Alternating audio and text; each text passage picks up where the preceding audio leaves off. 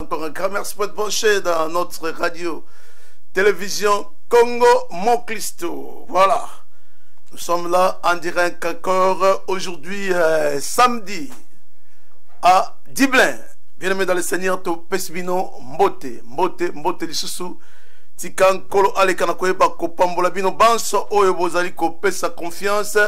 katikati na radio télévision Congo Moklisto. Congo Moklisto ezali etando to engunduka oyo ezali kopesa biso uh, bana na nzambe opportunité juste mpo na koyeba kosolola elongo na basali na nkolo voilà nous sommes là encore euh, ce soir euh, ndenge toyebisaka na bino merci kongo mokristo ezali chaîne gospel oyo ekotakota na bandako na bino tokotaka sans permission voilà lelo lisusu toye kokota katikati ya bandako na bino juste mpo na koyeba kokabola batemp oyo ya kitoko bamoma kitoko oyo wapi nzambe azali na biso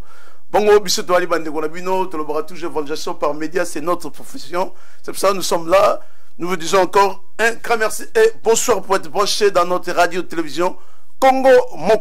Je suis votre humble serviteur, le frère Alphonse Tingui, qui a coulé les géniteurs de la radio-télévision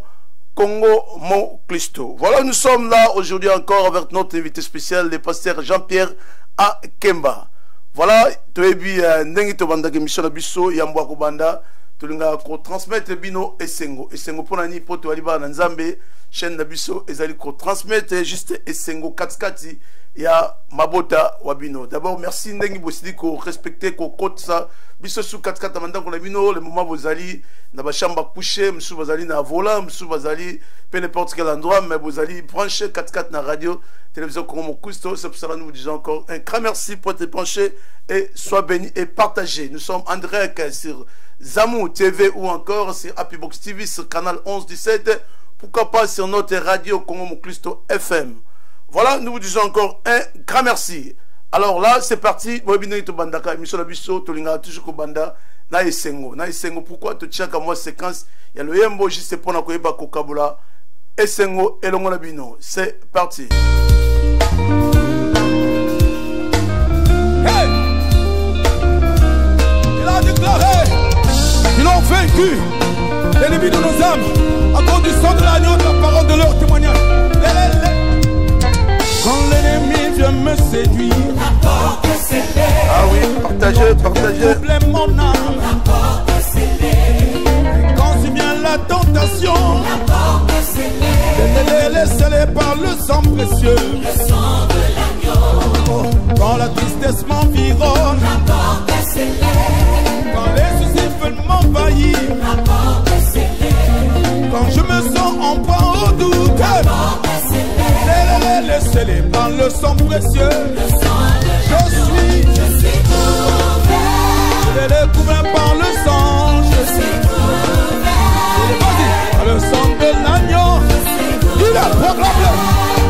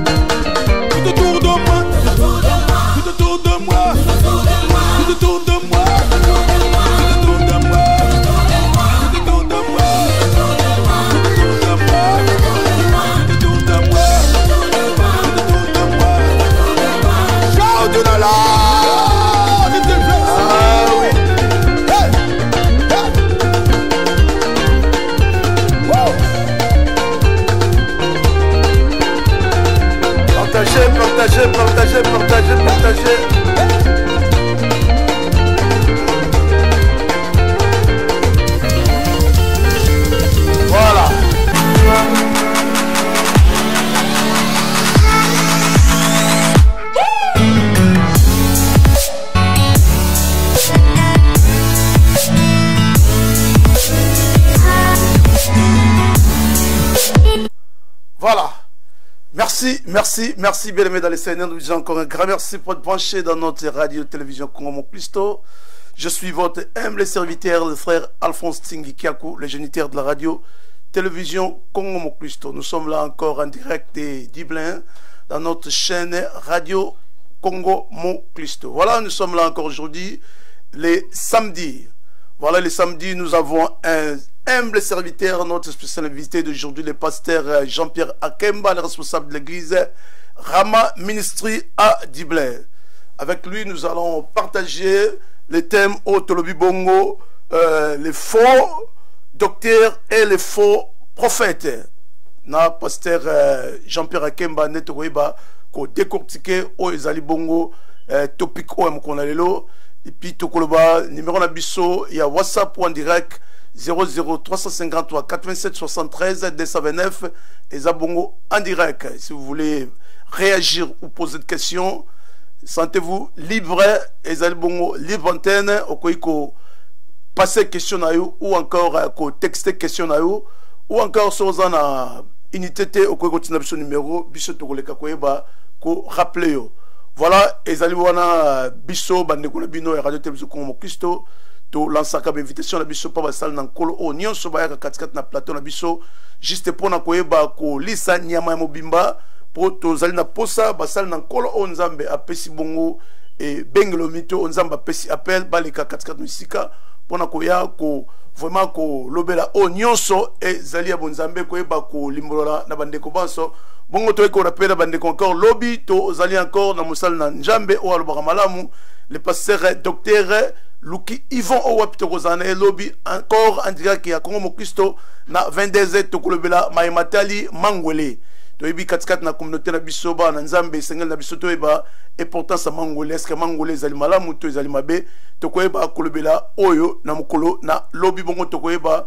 mangwele ezali lolenge nini eske ye azali bongo monganga na yango tobengisi ye mpo na intere na biso banso bana na nzambe tolinga kozala branche lobi na 22h mpo na koyeba kosola na docteur luki ivon ye nde toprepare 30 question katikati na studio na biso mpo na mokolo na lobi toyeba exactement ya kolimbwa na biso maladi oyo tozwa mangole oyo tozwa te eske avantage to désavantage ya mangole ezali nini bon lobi le rendez-vous eza déjà arrangé na mosala na nkolo le pasteur euh, euh docteur euh, luki yvon owapi azali responsable ya plateforme ya basali na nkolo nyonso oyo ya irlande topesi ye mbote a passant esika azali voilà lelo tozali na invité moko monene oyo toyei koyambela biso tokoleka kopesa ye mbote toyebi biso tozalaka wana juste mpona komeka ko ranger masolo nyonso mpo na biso tokoleka bo topesa ye mbote bonjour bonsoir euh, pasteur euh, jean pierre akemba soki ozali koyoka biso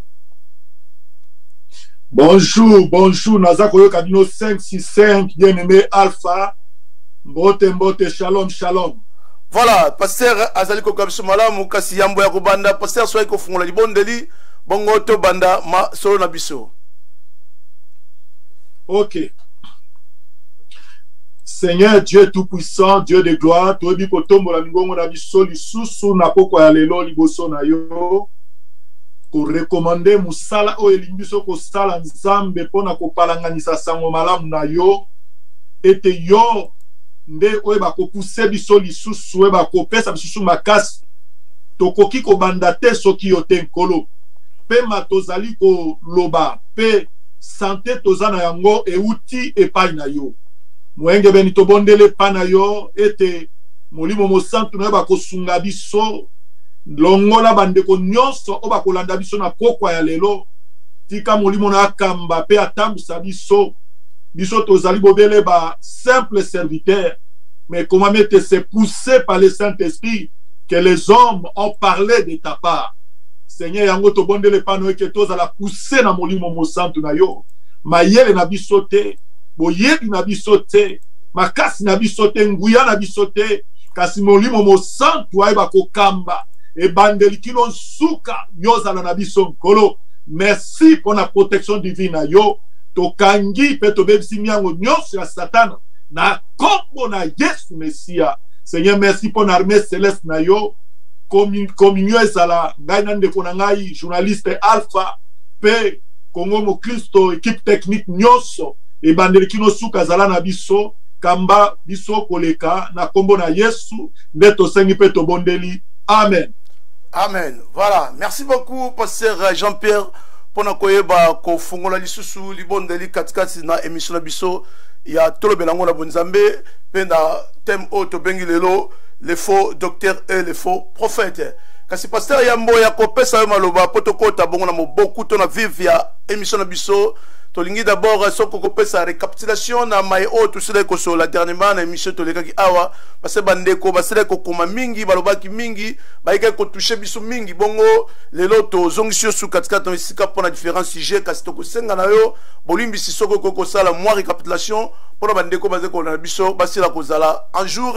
po mingi basilaki kotuna biso mituna paster jean pierre akozonga lisusu mokolo nini kasi yango lelo tozongisi ye lisusu katikati na plateau mpe tosengi matondo tomelesi ndenge esili koyeba kolimbola lisusu na invitation na biso koloba iyo mpo na koyeba kozala elongo na bandeko banso oyo bazali kopesa confiance katikati na radio television congo moklisto toyebi biso toyali bongo bana na nzambe oyo wapi toyaka no na polemike kasi toyaka juste mpo na koeclaircir mpo na koyeba kopesa eh, pivo to makasi na basali na nzambe lolenge nini tokoki kozala makasi lolenge nini tokoki kotelema ngwi mpo na koyeba vraiment nzela lolenge nini tokoki kokende mpo na koyeba koprepare oyo ezali bongo lobi na biso atanke baklisto yango susi na biso kongo moklisto ezalaka koinvite basali na nkolo mpo na koyeba kodecortike badifférent sujet katikati na oyo esika voilà pasteur eh, jean pierre maloba o mboka yo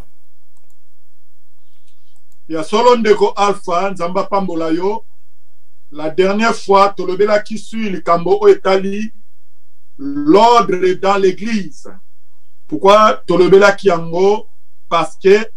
nous avons trouvé qu'il y a un désordre qui règne na kati ya église en ce qui concerne baministère mpe badon spirituel alors nzambe akambaki biso na émission na biso précédente tolobaki boye te nzambe apesaki makabo étant monté du ciel il a amené les captifs et il a fait des dons aux hommes et don oyo asalaki epai na bato yango wana ezali bato oyo nzambe aponaki mpo na ntina na mosala oyo tobengi ba ministère le cinq ministère e na kati ya ba cinq ministère wana tolobaki lisusu ke nkolo apesi kaka makabo te ya bato mpo bakamba lingomba mpe ye moko mpe aye na nzela ya molimo mosantu ete saint esprit aye sikoyo apesi biso baoyo tondimeli apesi biso makabo ya molimo mosantu e desordre eza kosalama mingi ntango tozali koyeba te premièrement un ministère na biso nzambe abengi biso ezali wapi e deuxième chose makabo nini nzambe atie kati na biso e na kati ya makabo wana ebongi na biso tozala na connaissance na yango toyeba yango se par manque ya connaissance nde ezosala ke desordre ezokota mhm. manque ya connaissance kola babi ke na oze ke eh, bible mon peuple périt par manque de connaissance soki connaissance ezali te ya maloba na nzambe moto akoyeba te ou eh, se situe na ministère na ye soki connaissance ezali te na badon spirituel moto akoyeba te comment se positionner devant dieu ye akokanisa lokola azoprofetize lokola azosala bamiracle lokola azosala ki aza na likambo ya prophetie ya vision ya oyo oh, tu tokomona ba tous les neuf dons akanisi ki abiki na nzela na yango or oh, moto abiki te mpo aza prophète moto abiki te mpo aza pasteur moto abiki mpo akomi mwana na nzambe biso nyonso nsima na kobika tomonaki nkolo aza kodirige beaucoup plus eh, na galate 5 en ce qui concerne le fruit de l'esprit c'est-à-dire ezala pasteur ezala prophète ezala évangéliste ezala n'importe quel chrétien quel que soit badon oyo ozwi to ya ministère to ya don spirituel il faut obota mbuma mbuma yango ezali nini mbuma ya molimo mosantu oyo ezali kolakisa koza na nature ya mwana nzambe sans cela okoki kokota na bokonzi na likolo te yango toepenglaki kotanga matthieu chapitre 7 nkolo azoloba kuna boye ke mingi bakoya bakoloba na ye seigneur n'avons-nous pas prophétisé en ton nom n'avons-nous pas fait des miracles en ton nom n'avons-nous pas enseigné en ton nom guéri les malades en ton nom nkolo alobi na bango ke Éloignez-vous de moi, je ne vous connais pas. Vous êtes, vous qui étiez des faiseurs d'iniquité. Mais est-ce que Batouana Bazalaki Lokuta Te, Batouana Bazalaki Lokuta Te. Bazoba Makambu ya solo. Bazalaki ko prophétiser. Basalaki pe ba miracle. Mais ba miracle bande ko sala wana, nkolo azalaki na bango lisusu te. Bazwaki makabu mais bayebaki te oyo ezalaki primordial yaki nécessaire mpona azozela mpo na bango ezalaki babota mbuma kati na molimo mosantu alors yango tolobaki il est plus important kozala pasteur yango kaka cela ne suffit pas kozala prophète cela ne suffit pas kozala docteur cela ne suffit pas kozala chantre cela ne suffit pas kozala na badon spirituel na prophétisaka nasala bamiracle cela ne suffit pas mais oyo ezali plus important kobota mbuma ya kobengama mwana na nzambe voilà pour peu de mots oyo tobelaki la fois passé kwati tobaki mwa mingi parce qu'il y a aussi des questions oyo tokoki kolobela si trois euh, point wana les dons spirituels les ministères et le fruit du saint esprit voilà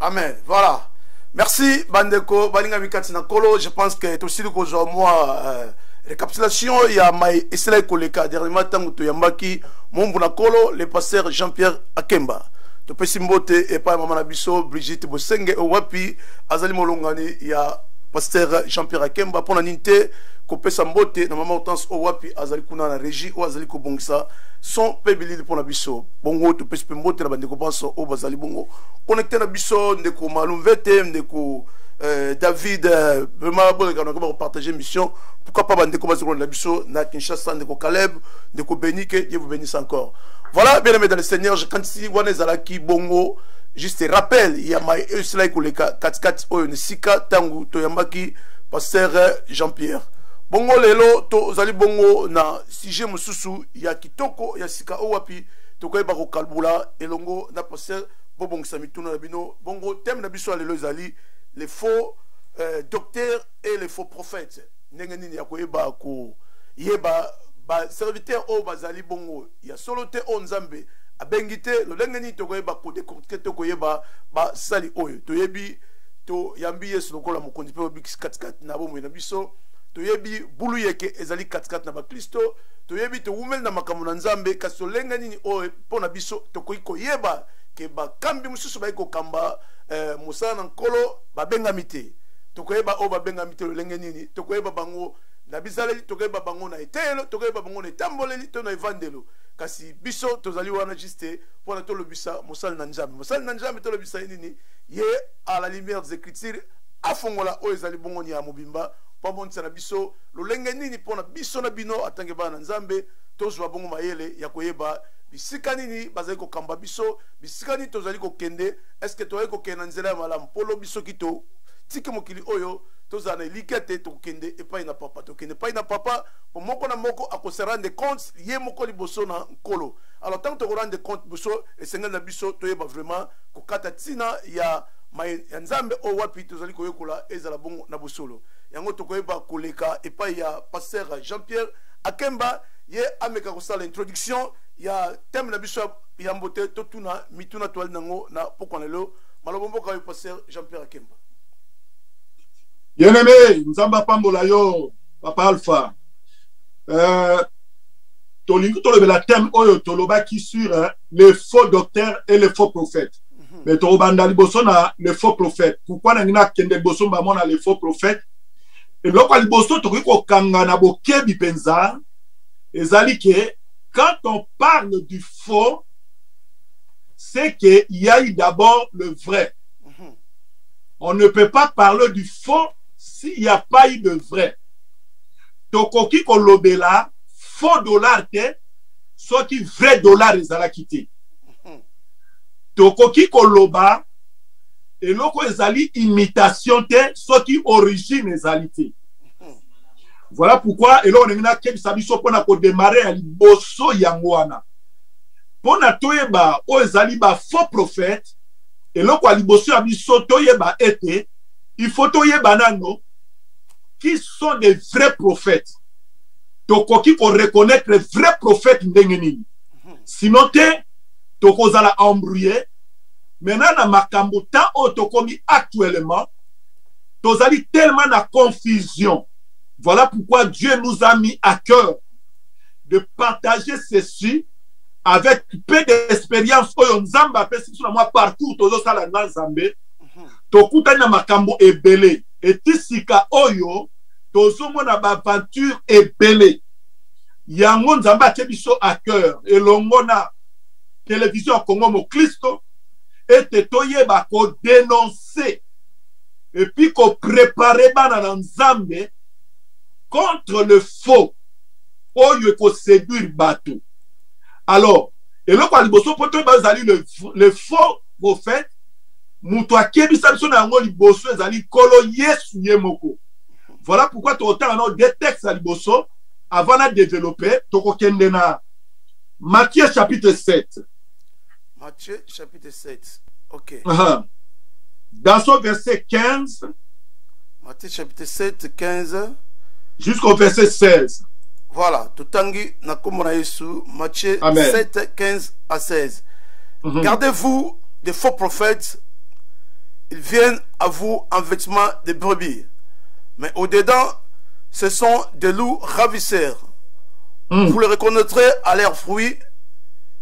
Caïton des raisins sur des épines ou des figues sur des chardons. Amen. Mm. Amen. Amen. Awa eza maloba ya nkolo yesu ye moko nkolo abikisa biso yesu masiya moto azokebisa biso alobi gardez-vous des faux prophètes c'est-à-dire le seigneur savait que le seul moyen oyo diable akoki koya na yango mpo akanga bana nzambe eza kozala beaucoup plus na nzela ya ba faux prophète mhm. parce que ba faux prophète pourquoi ba faux prophète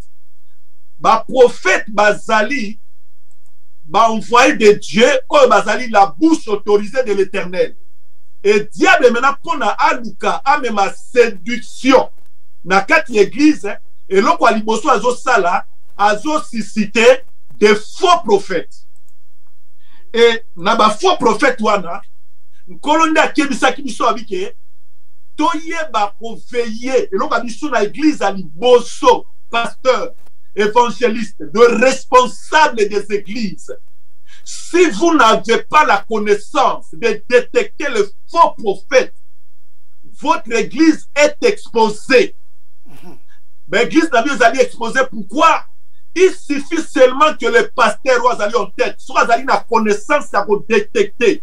le faux prophète te et que faux prophète moko aye akoti na église aramene bafaux ba message oyo bademo bakokota c'est toute l'église qui est envoutée c'est toute l'église qui est séduite voilà pourquoi kona azoloba biso liboko ya boto tokeba na bafaux prophète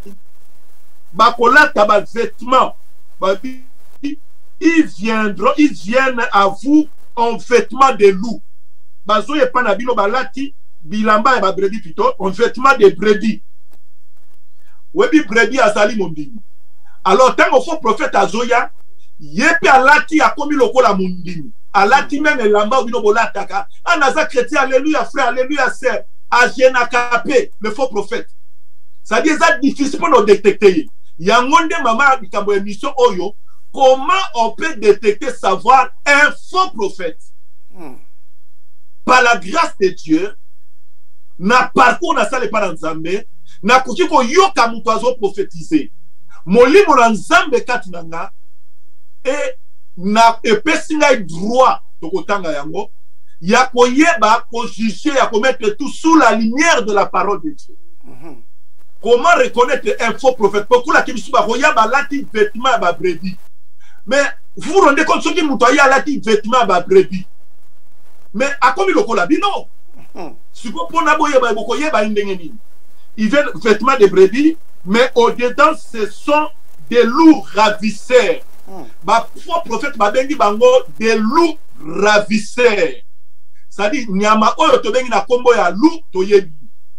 Hmm. Lou azali prédateur. Lou c'est un prédateur dangereux. Un loup soki akoti na bergerie akoya ase déguise lokola brebis nsima nango ntango abanda kose déguise lokola reso akoti masiko babrebis bamoni lo aza lokola ye nsima nango nde abandi kolia babrebis je m'explique un faux pasteur un faux prophète oyo azali kolata poso ya lou ke akoma lok alati poso ya meme eputa na kati azali lou akosilisa bandimi soki azali ndoki abanda kolia bato na eglise mhm. soki azali sataniste abanda koboma akoki meme koboma mpe pasteur pourquoi parce que tozopesa ye confiance aza lokola biso mais le problème ezali ke ase déguise sadi elamba oyo alati azali na ye brebi te mais simplement ase deguise lokola brebi e soki omoni lu place azali so azotambola nzela moko na babrebi soki ozali pembeni to omona mpe lokola azali brebi mpo bazalaka presque taille moko que dieu nous aide bien aimé dans le seigneur alors babi ke bazali balou ravisseur pourquoi bible ezobe babengi balou ravisseur kola ebeki ke soki botebi te bakolia bino parce que lou na kati ya bergerie ayaka te mpo apesa brevi bakoma bacamarade mhm. lou na kati ya bergerie objectif na ye moko ezali adétruire aboma voilà na deuxième passage tokotanga toujours parti mosusu nkolo azoloba maintenant na matthieu chapitre 14 matthieu chapitre 14 biso voilà matthieu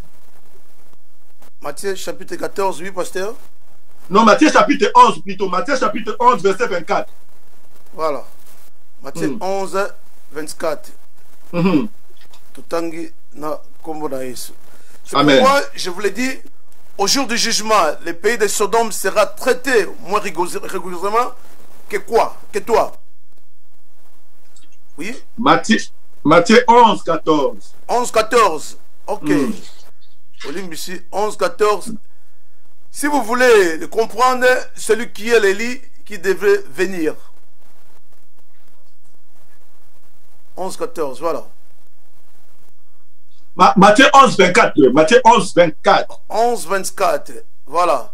C'est pourquoi je vous l'ai dit, au jour du jugement, le pays de Sodome sera traité moins rigoureusement que toi. Ah,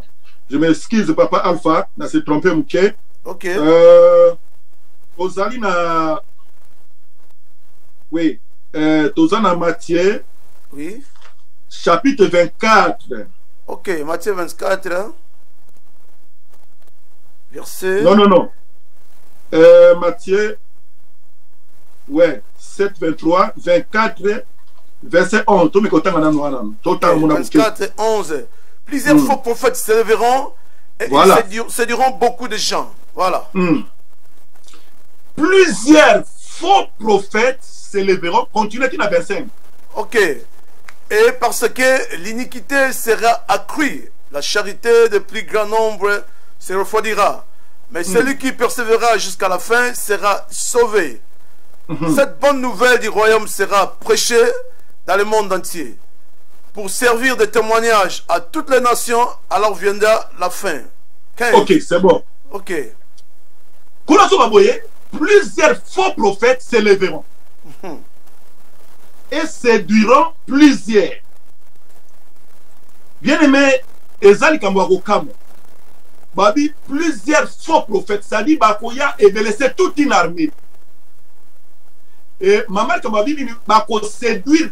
plusieurs mais bakoseduire bango ndenge nini ils vont les séduire au moyen de miracle na nzela ya bamiracle eloko ya liboso tokanga yango wana bakoseduire bato na nzela ya bamiracle mhm. e lelo oyo elema ya makasi oyo bafaux prophète baseservaka nango ezali ba miracle un enfant de dieu oyo azali kokima nsima ya bamiracle azali mosika te na séduction bible elobi na biso boye voici les miracles qui accompagneront ceux qui auront cru balobi te ke bamiracle ekolanda baprofete balobi te ke miracle ezali ka mpo na bapasteur Mais par contre la Bible déclare voici les miracles qui accompagneront tous ceux qui auront cru. Ça dit tout enfant de Dieu a un accès s'il a la foi ndeko alfa loko oza na ndako bongo na mama avant ya kobenga pasteur de fois oza malade si tu as la foi que tu pries tu imposes les mains dieu peut guérir mm. alors lokola bana nzambe bazali ya pesanti bazali ya faibli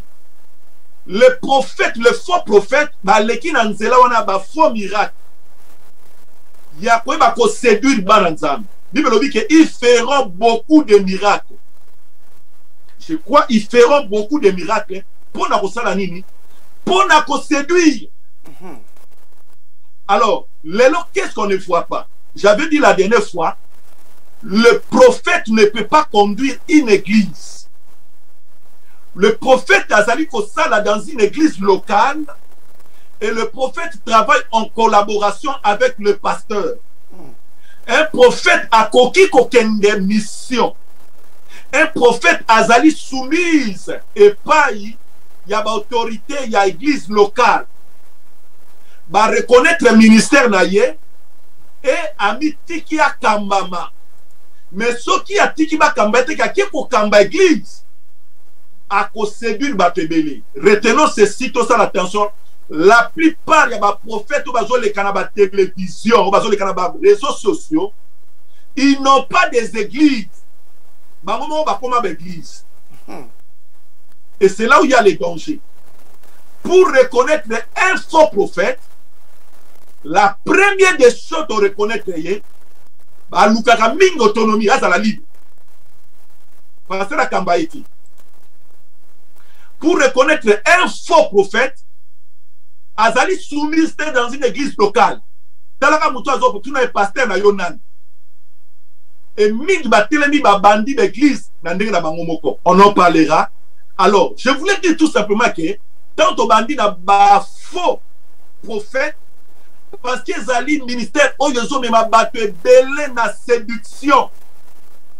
e bato yango bazali kozala séduit pourquoi hmm. parce que dans l'église nous avons deux catégories de chrétiens bakretien oyo balingaka ifo bayebisa bango makambo balingaki telema ke euti mpe na bakulture ya biso tomesana kokende epai ya bangunza tomesana kokende epai ya banganga kisi sikoyo ntango baya na baeglize ese bangu nzala elenganga kisi babandaki koloba babonnes aventure bazoyebisa yo tala na famille na yo boye tala boye e les gens aimait ça maintenant ntango baye na église au lieu de se laisser transformer conduit par le saint esprit hmm. bato wana bagarde ce côté là ya chanel oyo bazalaki nango na mokili balingaka kotanga bible te y a un prophète hein, bango makam. et ça c'est trop dangereux un chrétien qui ne lit pas la bible hein, et hein, qui n'est pas encore baptisé du saint esprit là on parlera encore un jour parce que quand on est baptisé du Saint-Esprit, le baptême du Saint-Esprit nous pousse premièrement à aimer Dieu plus, à aimer à servir Dieu, tout ça l'ensemble. le baptême du saint esprit ekopesa biso kapasite ya kolinga nzambe ekopesa biso kapasite ya kolinga mosala ya nzambe ekopesa biso kapasite ya kotambola na verite hmm. ekopesa biso kapasite ya kolinga bandeko ekopesa biso kapasite bref plusieurs quand quelqu'un baptisé du saint esprit abengami akoma na image ya christ na mur wana mais le faux prophète tokotanga ye moke kuna tomoni kola abengi bango bazali balou féroce hmm. cestadire balou oyo bazali lou ravisseur base déguise bakoti na kati ya bana nzambe bakomi lokola babrebi mais ils ne le sont pas e maintenant babrebi oyo bazali faible baza ntango babengi brebi aza mwana ya meme cestadire baza vulnérable bazali telma soki bayebi koma loba nzambe te balandaka bilandalanda lu akoki kokosa bango ke tala nzambe alobi no boye papa no na mama no balingi balia yo andimi ah yenimi mama oyo akolisa yo banda bomwana ti ya next mois bina libumu siko kaka na mokili obandi kokola bakomisa mama wana azali ndoki mpe ondimi kaka mbala moko boye ce n'est pas possible voilà pourquoi nous allons lire quelque part la bible ezobana na biso ke tozala na discernement quand on parle de faux prophète mosala baprofete ezali nini mosala baprofete ezalaka koprophétise ou parler de la part de dieu maintenant moto aza kopretendre kazali koloba na part ya nzambe soki azali faux azali kopeshe doublement azali kopeshe contre dieu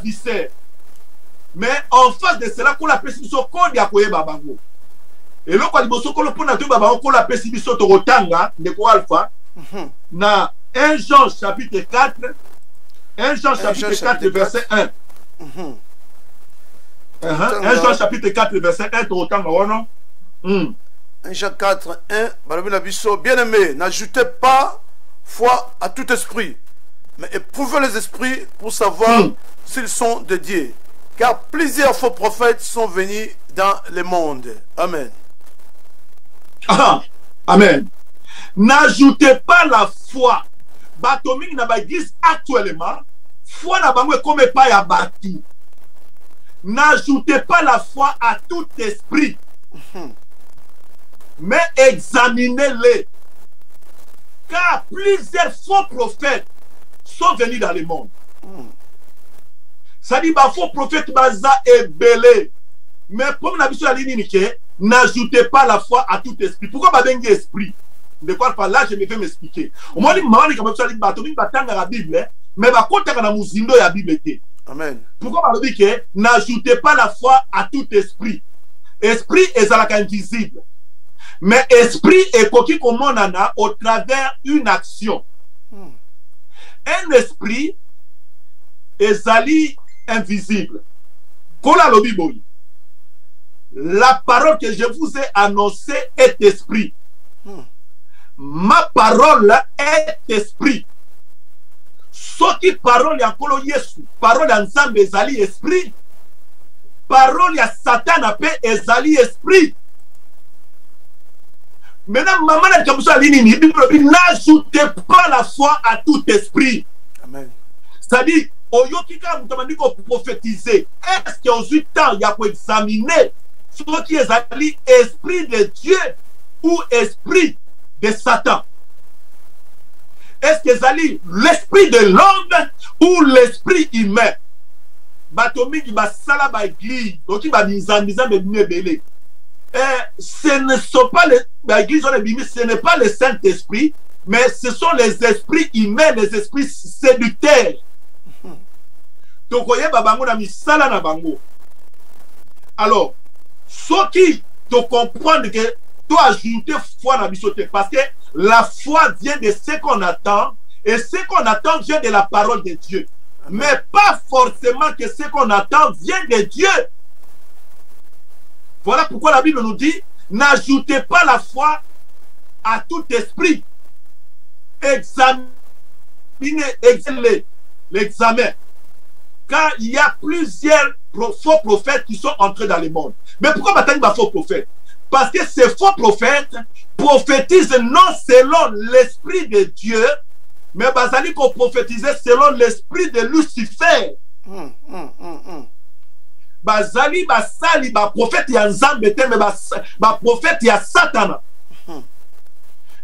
et eux-mêmes aussi bayebi mpe te ke bazali aveugle peut-être tolobela yango un jour beaucoup de faux prophète bango bayebi basalelaka nzambe oyo bayebi te ke satan esi azwa bango bakoma baprisonnier na ye mpe miracle mpe ezosalama on parlera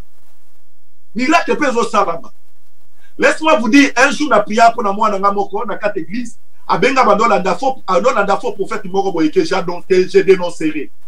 tidi joshua abandi kolande na télévision tout temps azolande na télévision ngai nakende na terre ye avandelaka na bamedia atalaka ye kaka mais ekomi moma mo biso alali akomi kolota ye kaka aleka bwa komolota ye kaka molimo ebandi kotinda eke kende na nigérien so avandi moto so ayibi na moto mbongo moto bandi osala epasi akomi koyoka bien ke abi ah mais so nalali nazomonaka azotidi zoshua so nali nazomonaka makambo so ah ma fille pourquoi tu ne m'avais pas dit mm. vous savez vous êtes les brebis dans une église avant de consommer biloko mosusu faut tuna papa na oyo ya molimo amen est-ce que je peux aller là-bas ou non il faut savoir là où tu te nourris oliaka wapi qui est ton père spirituel ye akoki koyeba ke biloko okoki kolia na biloko okoki kolia te mais esenga bino non non tu es possédé opesaki accès esi olandaki na prière owi nalandaki na prière na télévision ye azoloba nga mpe nazongisela oyo bokotaki na contact ayi me banda na ti motu ezosala ngai mpasi nazo comprendre te epuis baloba na ngai natema nakende nakende nigeria nakende nigeria bino ça c'est le faux prophète ça c'est les esprits séducteurs alala te butu mobimba mama na benga bandi kolela na bomona nazo comprendre te se lokwa liboma bonango mais oui parce que esprit wana ezobenga yo kende kuna baprie mpo na ebima lokola miracle mpo basala publicité na bamédia mm, mm, mm, mm, mm. Babi, et tu n'iras pas, je vais prier pour toi. Et au moment où je vais prier pour toi, okolala malamu mpo kobanda omona kidi omona obanda omona ye lisusu te hmm.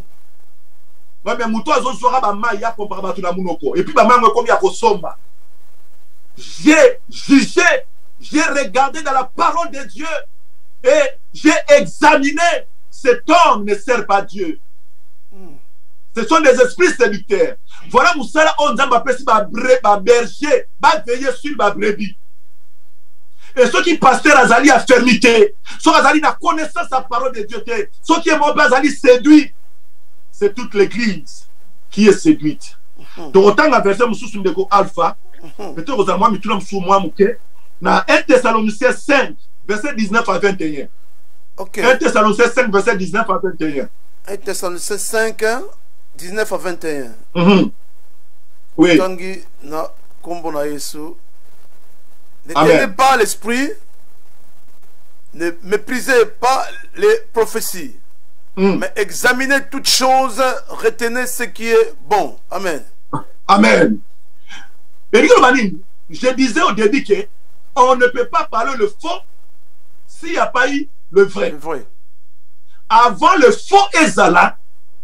l'authenticité de bête ezali yango bible elobi awa ke n'éteignez pas l'esprit hmm. yoloba ke saint esprit na kati église koetendre ye te eza moto koetendre ye te aza na kati église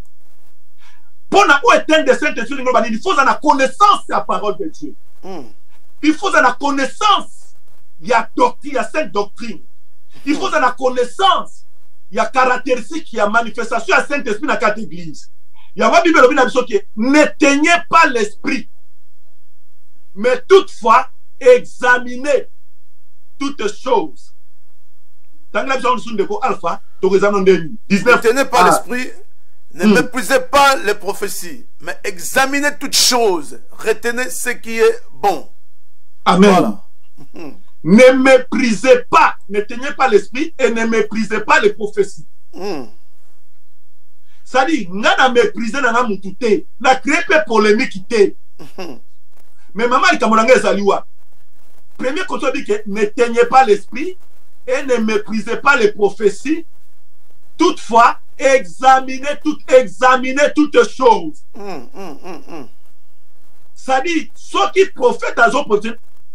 nako minimiser ye te nako nakoyeba te komepriser prophetie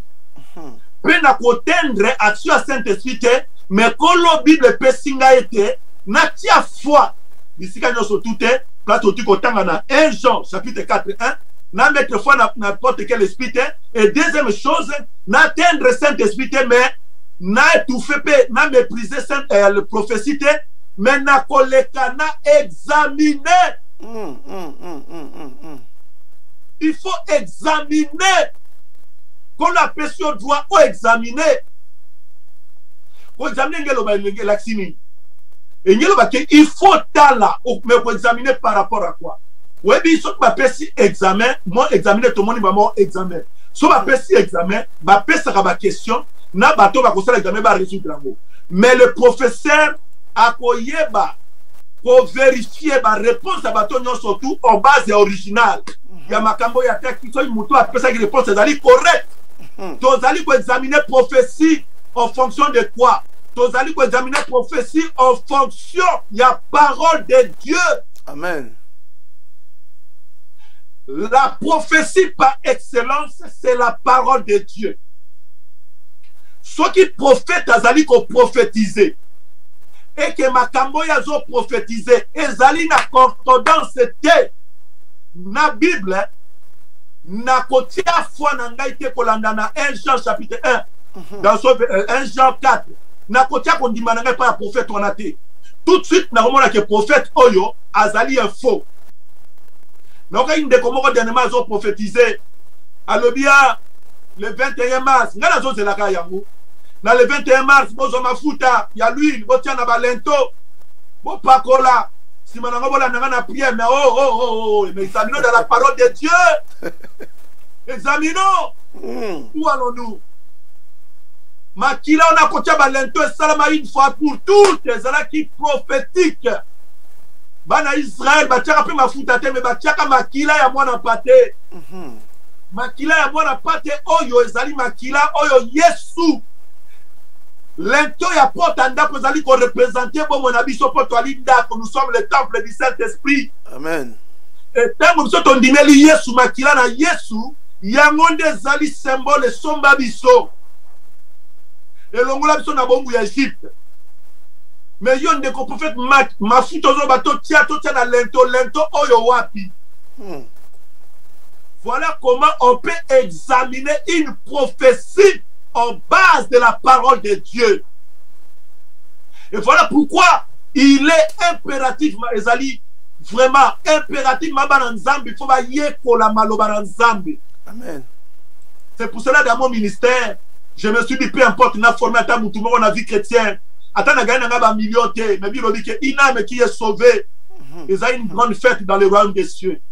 Amen. mais soki ame azali sauve j'aime beaucoup m'investir ayekola ayeba maloba na nzambe parce que maloba na nzambe yango moto ekosala ke oexamine tout ozali koyoka en fonction ya parole de dieu mhm. eloko bakoloba na yo sala yango osali une fois dans l'église ndeke abala bakendekendeke babimi ye prophète autaka je crois londres ceux qui sont de rama connaissent cette histoire bayi tosisi kit bandeko bakei ya prophète ayaki ndenge bayaka baprophète baentrainaka bato ebele parce que c'est émouvant hmm. bato bazokweya bamosusu bazosanza bamosusu bamiracle milieu mabe ezo se manifeste et des fois milieu mabe wana ezala mpe bango moko baza koentraine bazosala baje na bango bakei biso tosisi kit tozongi ndako tovandi namona bato baye na butu oh, no mwana alali bien te milieu mabe se manifesta epasi bakendeki ya boye boye boye boye ah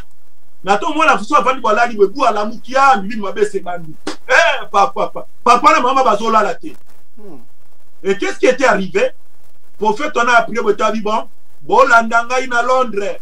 bosomba bamilangi ya huile bolanda ngai comme ça nakoprie mpo na bino boluka mbongo hotel bokolala bosomba milangi ya huile ebele bolanda ce sont des choses que j'ai vécu mais heureusement que dieu m'avait établi comme sentinelle dans l'église amen et comme elekaka na église mosusu bandimi nde bazalaka baluka baindépendant baye baye koinforme ngai ntango bainforme ngai mobali abi ah mais passion koprie mpo na mwango mais oui eza nango simple bozo oblige bokende kodepense mbongo na londres d'abord ça va vous coûter l'hôtel hmm. e mafuta na bolingi bosomba huile wana bopesa ngai ata mbongo nalia na ngai yango nali yango l'huile wana bosomba na bino l'huile te mhm. bokende mpe londre te boya na monana na kobondela mpo na ye papa alpha tobondela nabondela mpo na mwana wana ebutu elanda alali na kimia mm, amen mama na ye aya na enveloppe action de grâce mabi te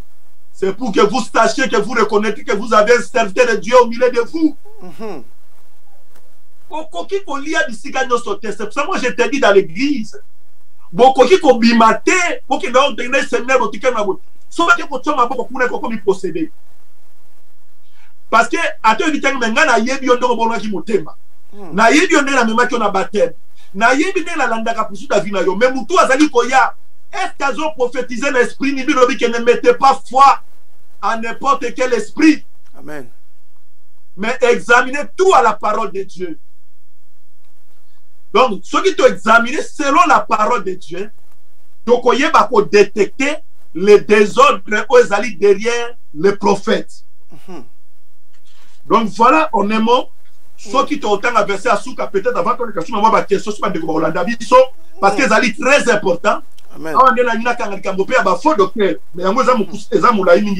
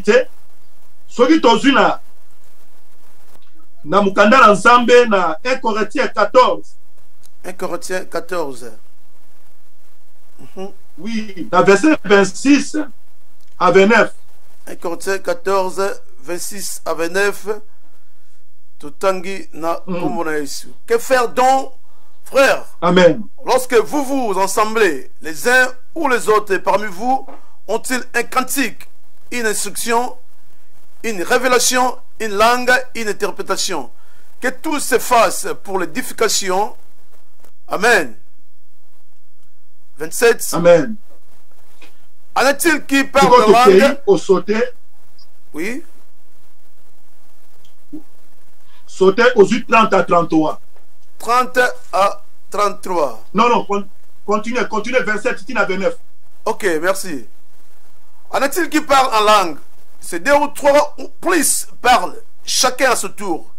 et que quelqu'un interprète. S'il n'y a point d'interprète, qu'on se taise dans l'église et qu'on parle à soi-même et à Dieu. Pour ce qui est des prophètes, que deux ou trois parlent et que les autres jugent.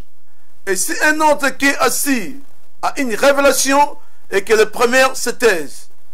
car vous pouvez tout prophétiser successivement afin que tout soit instruit et que tout soit exhorté. Les esprits des prophètes sont soumis aux prophètes, car Dieu n'est pas un Dieu de désordre, mais de paix, comme dans toutes les églises des saints. 34. Que les femmes se taisent dans les assemblées, car il ne leur pas permis de parler, hein. qu'elles hein,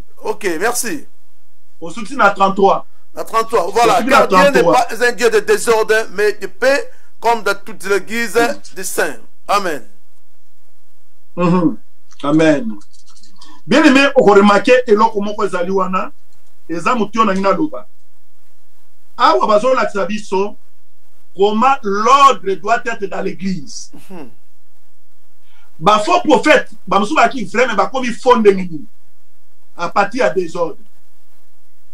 bible elobi ke faire donc frère lorsque vous vous assemblez to s'assemblera jour nini le dimanche des fois ba mercredi mm. mais des fois même na bakiti na biso desordre ezalaka pasteur ayebi koinstruire te comment le culte doit se dérouler e modérateur ayebi te ndenge nini culte ekoki kotambusama e awa bible ezolakisa biso mpo na zona lorsque vous vous assemblez les uns ou les autres ne parmi vous y a-t-il un cantique soki loyembo ezali toyemba une instruction instruction euti mingi euti na molimo santu to une exhortation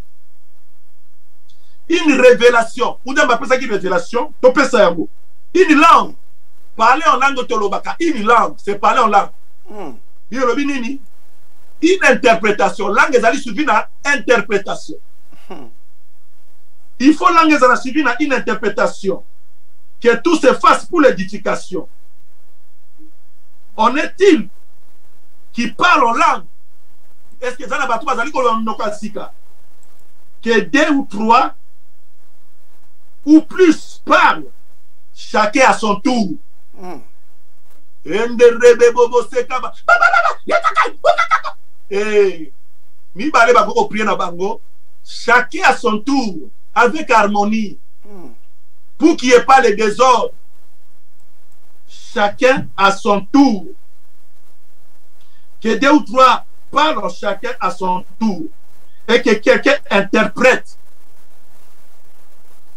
et que quelqu'un a interprété ma langue wana mhm. s'il n'y a point d'interprète qu'on se taise soki interprète azali te tosala nini tofanda kimia to se taire hmm. togade kimia qu'on se taise dans l'église et qu'on parle à soi-même à dieu nde bakobonda minoko ya sika me ozoloba yo moko parce que moto azoganga ni bato bayoka ye mais soki nazoba minoko na sika mpo nzambe kaka moto ayoka ngai naosedise ngai moko nazoblije na krie te hmm. je donne un exemple yanda babosetaka raba bokokosoko nazongaka te mpo toyokanga nazobondela ngai moko mhm. mais ça sert à rien à crier wana ozoswa na nzambe yo moko pour ce qui est des prophètes des prophètes voilà tokomi na mama likambo na verset 29 pour ce qui est des prophètes mhm. que deux ou trois parlent baprophète na kati eglise baloba et que les autres jugent hmm. et que les autres ba face nini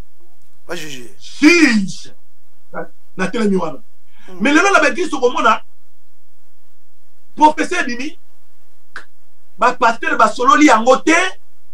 ba ancien église ba lobeli yango kutu te hmm, batiki yango kaka moto mais biloko wana mpe bato baye bazwi moto azalaki fragile to azali bebe dans la vie chrétienne andimi mpe ake na yango kaka ndenge wana ndeko alfa olobaki tolia nyama ya mobimba mhm. ndeko alfa olobaki tolia nyama ya mobimba oui fo tolia nyama ya mobimba paster papa fo tolia na ya mobimba hmm. ideloko tike prophétie ebimi na église mais base de l'église bajuge yango te bible elobi na biso nini ke que les autres jugent hmm. Mm, mm, mm, ndenge loba te ke ntango profete abimi kaka profete botike mponi aza moto obanga eh, profete te tozojuge ye na kati ya connaissance ya maloba na nzambe amen amen amen eloko oyo ozoloba soki ndeko alobi ke ah tokopakola mafuta na balento ya nini non likambo te toyoki yango me biso tokojuge yo na maloba na nzambe eske eloko oyo olobi ezali na concordance na liloba na nzambe soki ezali na concordance na maloba na nzambe te hmm. tout de suite tokotema eglo loko wana na église je vais témoigner un jour bien aimé moko tozalana na dublin un pasteur que je citerai pas le nom ayambaki namona ndeko alinga koyamba baprofete mingi na église mais ngai nazalaka un peu trop sceptique na baprofete engeli bate naza contre baprofete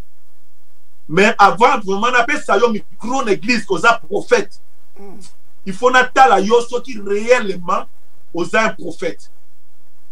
parce que kola apesanga grâce ya kodetecte bafaux prophète e na koexplike comment on peut détecter les faux prophètes mm -hmm. alors soki ayambi baprofete ameki koinvite nga na ke natali o oh, mebengise mokolo mona église abondeli nga asiple nga moko abasabiki ah mais pasta tika ya oteyaka aye ateyi ntango ateyi vraiment c'était catastrophe abwakeli bakoma mafuta bamosusu na mabele bamosusu abi tokokontinue service dimanche ezali koya apres mpo na bato beti na motema oyo impose nga maboko nga abi na boyi mm, mm, nga baimpose nga maboko te ntango kaka esili ye apesi yako sanswa na nga azwi nzoto te abike dimanche prochain boya bwana baaction de grâce nakoprie mpo na bato nyonso tout le dimanche ya rich boya ntango asilisi akei ake avandi na, na kiti nga nazwi ngabi non je m'excuse par rapport à notre programme tokomwe tokata eza te mais avec euh,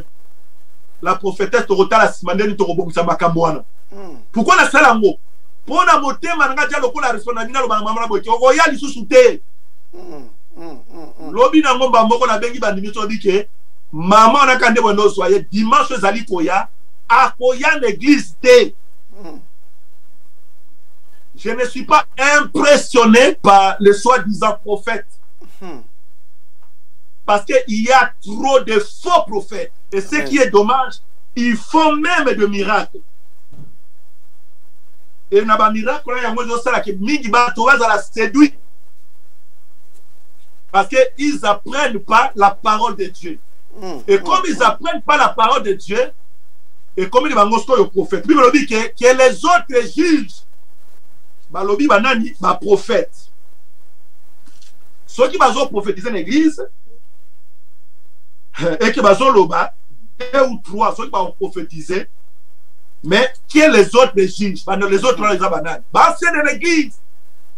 d'autres responsables de l'église tozo juge yo hmm. makambo oyo ozoloba eske ezali na kokonasa maloba na nzambe hmm. ça c'est le premier condition et deuxième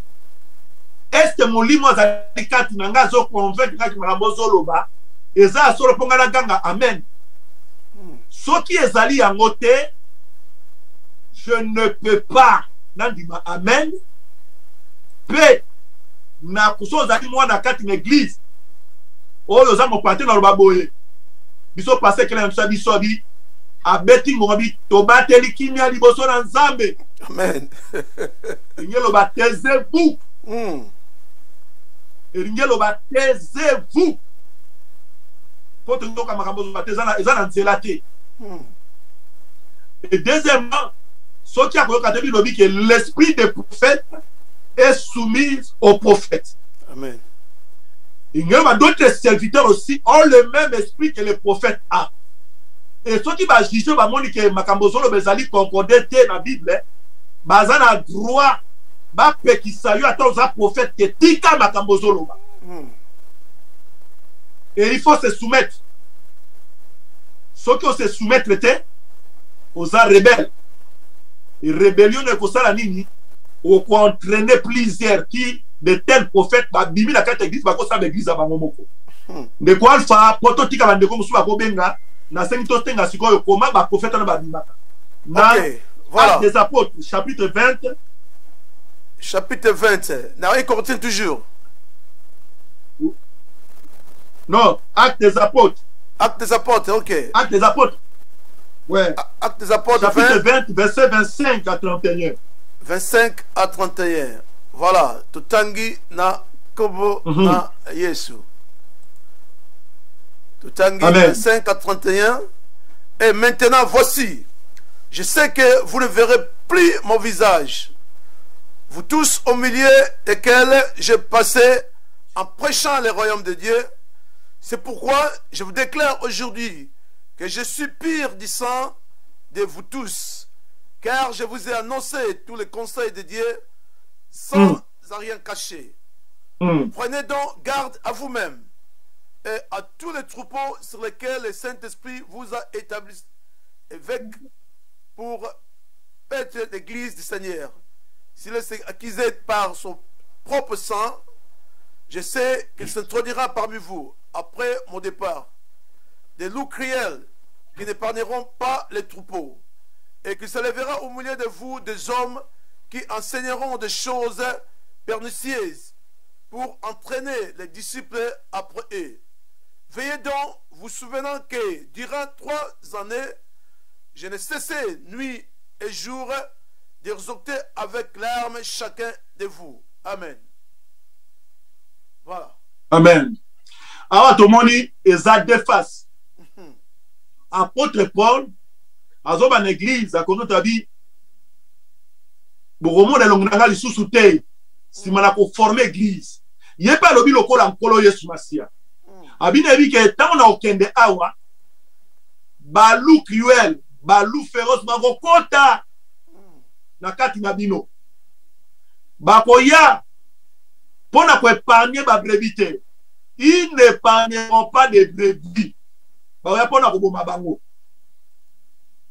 na ministère ya baprofete ezali tellement délicat na ancien testament tokomona na royaume ya israel tomonaki baprofete de bale oyo eli akutana na bango bazalaki mpe ba loup cruel awa tomoni apotre paul azotanga kaka ndenge yesu alobaki kuna na matie 7 ye mpe azongisi de loup c'est-à-dire baloup eza baprofete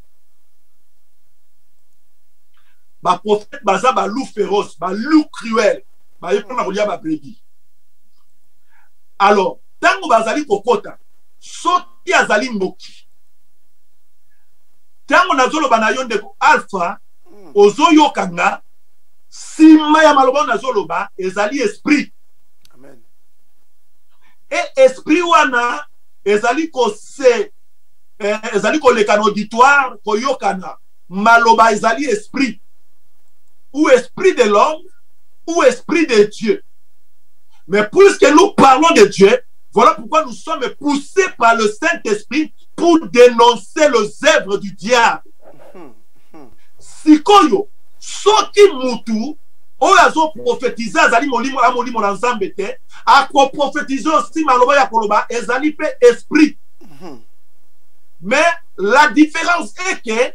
maloba oyo akoloba wana ezali esprit de dieu te mais ezali esprit ya loup esprit ya diable esprit ya prédateur oyo mosala ya prédateur ezali mpo na kolia babrebi amen alors bible elobi ke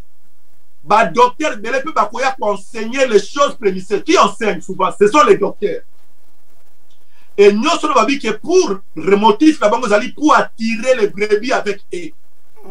c'est-à-dire bazo prophétise maloba mabe yango na kokamwa te soki moto abandi koprophétise alobi okomi oyo abandi kosangisa bato kuna c'est l'esprit là ya prédateur moto abandi kosala ye so abandi koprophétise botelemela so bojuge ye lobi bokamwa te bomona bianga kuna batelemela nga ake kosala église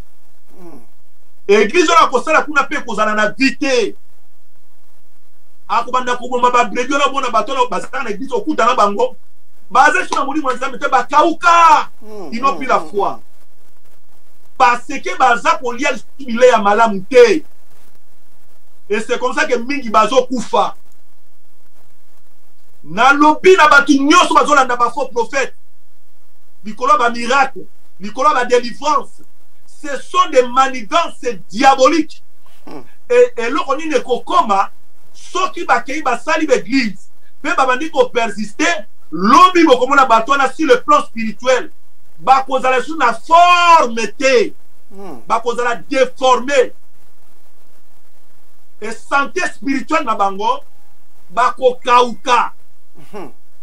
bakokoma bato bakotambola na baheresie bakokoma na image ya prophète na bango au lieu de défendre christ bakokoma ko défendre l'individu hmm, hmm, wana hmm, azopesa basigne bango badefandaka krist te badefandaka kaka profete na bango aza mosala nzambe paster na biso profete na biso mosala nzambe oyebi asalaka boye e eh, alobaka makambo boye wi bazobosana eloko moko acte chapitre 16 paul atambwa na prophetesse ya lucifer une servante oyo oh, batiaki azalaki posede na esprit ya piton combien de fois azolanda paul na silas aolanda bango azoganga baoyo baza basali na nzambe mais ya de quoi etre conta so oza mosala na nzambe so na discernement te hmm. omona lokola bazobwakela ba eloge et les faux prophètes balingaka babokela bango ba eloge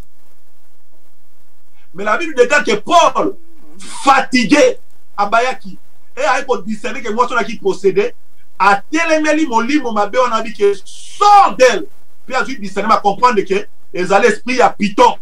mhm. et aujourd'hui combien de gens bazali possédé na baesprit ya piton esprit ya piton engi oloba nini ndeko alpha je me vais arrêter peut-être là mhm. esprit ya piton engi oloba ke moto azoloba biloko ezali vrai diable azwaka biloko ezali vrai akoki koya biso ndeko alpha mama na yo nkombo na yo kingandi mwasi na yo kombo na yo bobana oza na bana boye mpe ezali vrai mm, mm, mm, mm. me azoloba yango te me ezali monde esprit azoloba yango mpo yo opesa ye porte otia foi ndenge totanga na 1 jean 4 otia foi na kati na ye na makambo azoloba directement esprit wana ekangi yo hmm. mais il dit des choses qui sont vraies soki sikoyo oza na discernement ya maloba na nzambe te okangami hmm.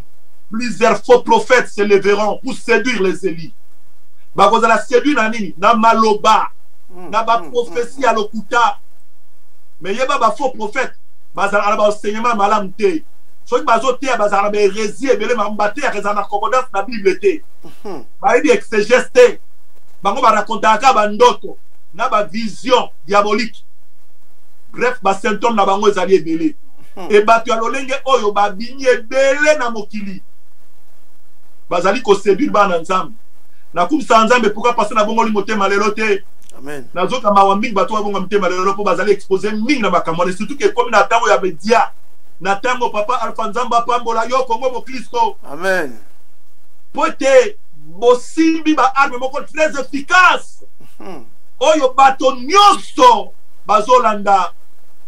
ke mingi soki bafaux prophète azwi place oyo nazotelema nazoloba eke bandi koprofetize yo mama kuna papa na yo mwana na yo boye na boye boye nazoloba na yo kuna tala boye boye ezali mpe vrai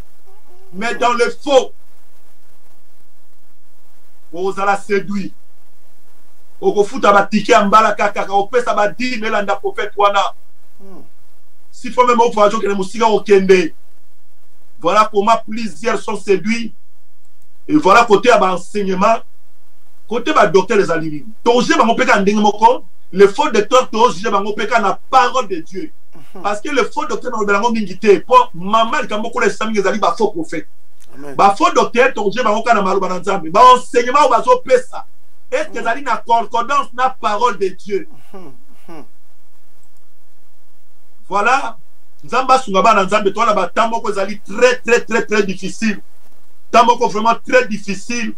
oyo ezosenga ifo kotangaka bible mikolo nyonso hmm. so oza na conseil ya kotuna tuna paster na yo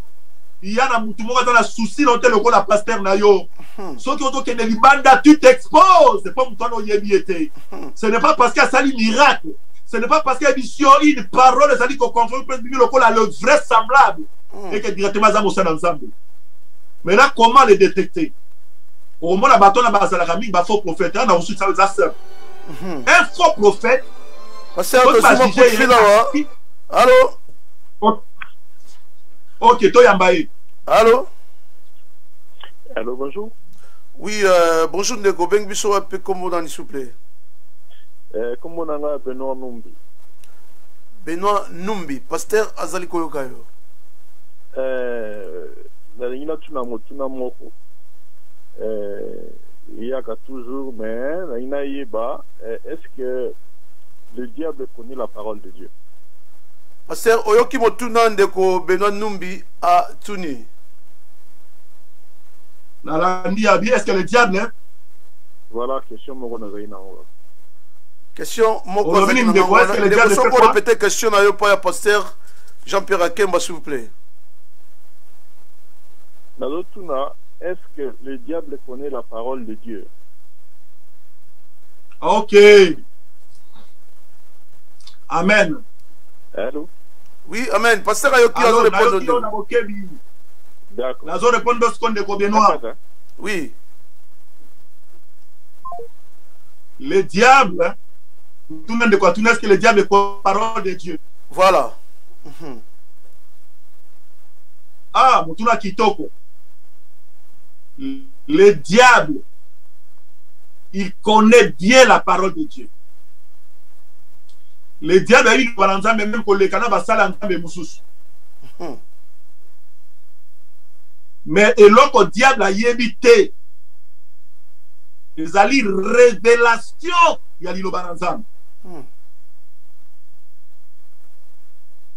Le diable connaît la parole de Dieu. Par exemple, soki tozwi mpo torepondre ndeko be soki tozwi na Matthieu Matthieu 4 mpo totangela ndeko alanda biso na bokebi Matthieu 4. Matthieu chapitre 4 Mhm.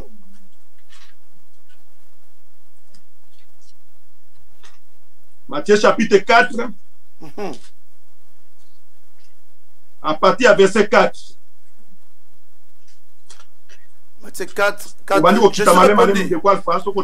Jésus, répondit, il est écrit, l'homme ne vivra pas de pain seulement, mais de toute parole qui sort de la bouche de Dieu. 5. Hmm. Les Le diable les transporta dans la ville sainte, les plaçant sur les hauts du temple. 6. Et lui dit, si tu es fils de Dieu, jette-toi en bas,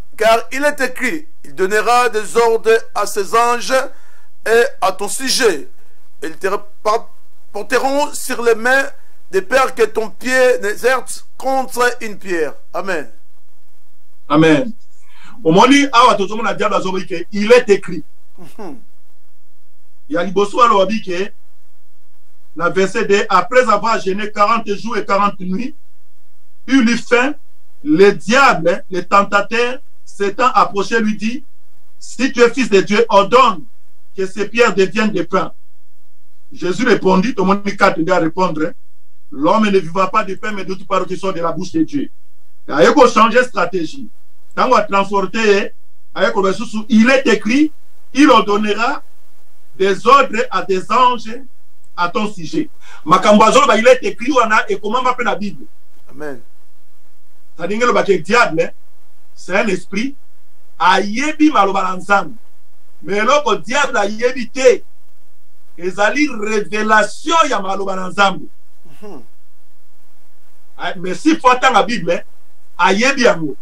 mais entrer dans la profondeur de la révélation ayebi te wana ezali mabombami mpo na ye mhm. parce que saint esprit nde arévela yango epai ya bana nzambe yango mpe yango mpe révélation maloba nzambe yango esalaka biso makasi devant le diable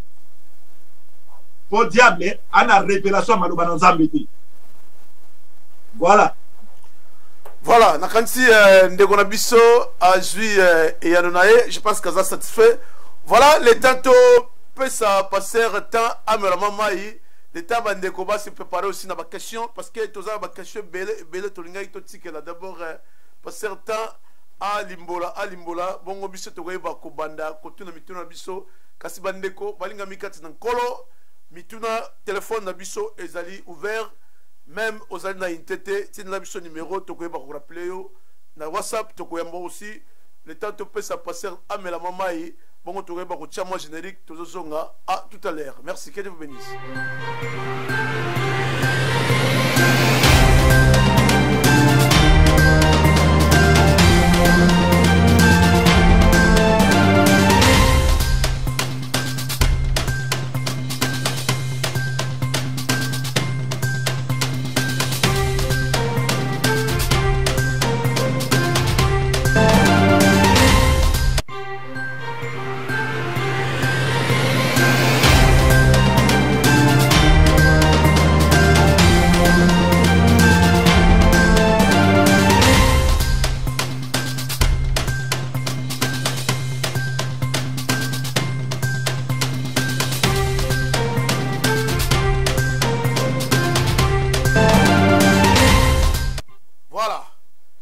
Merci, bien aimé dans le Seigneur. Tozali Bongo en direct de Radio Télévision Congo Christo. Nous sommes basés à Dublin, précisément, en Irlande, précisément à Dublin. Voilà, Lelo Ezalaki Bongo, euh, notre invité spécial, le pasteur Jean-Pierre Akemba Owapi Azali, responsable titulaire. Il y a Église Otobengi Rama, ministry Awa, na Dublin, précisément na Lucan. Yende Azali Komanyola, na thème na biso les faux docteurs et les faux prophètes. Yazali Kopesa na biso biyano mpe susu batactique lolenge nini oyo tokoki kodecontike bafaux pasteur bafaux prophète basali na nzambe oyo bazali na ebengolo te kasi bayebi baobjectif nini oyo bazali kosalela maye oyo bongo toali na mituna ebele oyo tokoyeba kopose epai ya pasteur jean pierre na butuma lelo na yango biso toali wana mpo na koyeba koinvite basali na nkolo ebele kasi nimero na biso ezali bongo ya kofunga mpo na koyeba kobenga bongo tokoyeba kozonga lisusu na plateau kuna wapi epai pasteur azwami en direct na mboka na balbriggen esika wapi biso tozwi relais ya koyeba komema passer katikati na plateau ya radio télévision congo moklisto oyo wapi ezali bongo na mbleme évangélisation par média c'est notre profession tozali wana mpo na koyeba kopalanganisa sango na nkolo jusqu'au extrémité bongo tolobaka évangélisation par média yango nde ezali profession na biso tozali kobenga basali na nkolo mpo na koyeba ko manyola maloba na nzambe na moboku nyonso to na pivo nyonso mpo na bana na nkolo baleka na koyeba kososola to kocomprendre kozwa misisa mpo na bakoyeba kotelema ngwi koyeba lolenge nini oyo toyei kosambela banani oyo bazali kokamba biso kasi pasera luti komanyola awa ete soki dollar ya vrai ezali seki ya faux mpe ezali donc soki basali na nzambe ya solo bazali ya lokuta mpe bazali kasi tokoyeba lokuta ndenge tokoyeba bango na misala na bango to na ndenge tokoyeba yango ndenge nini na molimo santo ntango tozali kosenga lisungi epai na nkolo vala tokoyeba kozongela lisusu paster katikati na esika oyo azali nakanisi paster ozali koyoka biso malamu na bokebi mpenza nazoyoka bino merci paster motuna yango ya liboso toyei na mituna mingi tokoyeba kopose na yo motuna oyo euti katikati na mboka na tala motuna batuni balobi en tant que chrétien imposition de main sur bandimi ezali malamu to mabe hmm. imposition de main c'est tout eza euh, eza doctrine mobimba hmm. mais bapratika yango n'importe comment te imposition de main il faut saint esprit à convaincre ou opposer ma Boko, mon Paul quelque part dit que, que l'imposition des mains ne se fasse pas par précipitation. Mhm. Ça dit, tokoki kowelela te aya totya maboko te imposition des mains mosusu ezalaka bato telema aza mosala nzambe qu'il est confle d'orgueil alingi tout de suite awelaki notya motu maboko mhm. quelque part tokoloba ezali mabe soki euti epai ya nzambe te voilà. contre position maloba de mai ezali soki nzambe moto alobi yango hmm. soki atindaki mosali na nzambe atya maboko oui bien sûr akoki kosala imposition de mai mais soki ote epai na nzambe te eza mabe pourquoi parce que imposition de mai etransmetaka grâce etransmetaka une onction alors soki moto wana azali koimpose yo maboko ti soki azalaki mpe na esprit ya séducteur to ya bafaux prophète eh ben a transmettre wapi milimo wana voilà voilà merci beaucoup wana ezalaki juste motuna batindeli biso awa kasi toza na mituna ezali mwa mingi toki tozonga na sujet na biso toujours euh, question na biso ezali comment bafaux prophète oyo objectif na bango ezalaka nini na bafaux prophète na ndenge osili komanyola katikati na esika lolenge nyonso ndenge elongobani ozwi mpena temps ya kolimbola bafaux prophète ba faux docteur bazopesa ba prophétie ya lokuta toyokaki mosusu le 21 mm. mars fo tosala boye totya baleton mais outi kolimbola na bokebi nyonso leton ezalaka katikati ya motema na biso biso tobandaki kokanisa ta mosusu leton oyo tozalaki nango na lokola na bandako oyo tozalaka nango na kinshasa tomoni bandako na biso na afrika ezalaka na baleton mais awa na poto ezalaka na baleton totango tosuka lolenge nini kasi lolenge osili komanyola na biso leton ezalaka katikati na motema na biso na yango toli totuna objectif ya ba basakoli ya lokuta oyo ezalaka nini tomoni basakoli ya lokuta oyo bazali bongo na baeglize mingi na afrike na poto vraiment esika mingi tomoni basakoli na lokuta oyo bazali kasi objectif na bango ezalaka nini pasteur euh, jean pierre akemba maloba omboka yo ok tozwa lisusu na bokebi place to moko totangaki eza wana merci mpo na motuna motuna eza très important acte chapitre 20 tocomprendre tomona objectif na bango Acte chapitre 20. Mhm. Mhm. nde tokotala kuna na verset à partir ya verset hmm. tobandi na verset euh, 30 tanga à partir ya verset 30 à partir ya verset 30 acte 20 30 totangi hmm. et qu'il se lèvera du milieu de vous des hommes qui enseigneront des choses pernicieuses pour entraîner les disciples après eux 31 veillez donc osukisi wana ok osukisi wana amen objectif na yango pour entraîner les disciples vrai et c'est-à-dire tobengaki bango baza balou ntango bango mpenza ezali mpo baganye bato balanda bango bacreye bafanatike bato ebele balanda bango hmm. nalobaki awa moto abimi faux prophète omona toujours azala na objectif moko soki otelemisi ye aza humble te ase corrige te hmm. akokima eglize ntango akokima eglize akobanda alongwa eglize akobanda eglize ya ye moko sikoyo akokende mpe ye moko te akoentraine na ntina eglize wana mhm. mpo amema bango akende na bango alors ntango akoentraine bango na sika tawa ke bandimana bakokauka mhm. oyo aza pasteur te aza berger te omoni bokende eglise moto aprofetizaka kaka tellement prophetie ah prophète ah eglise na biso lelo prophète mikolo nyonso to bando profite mpo ayebi nde maloba na nzambe te hmm.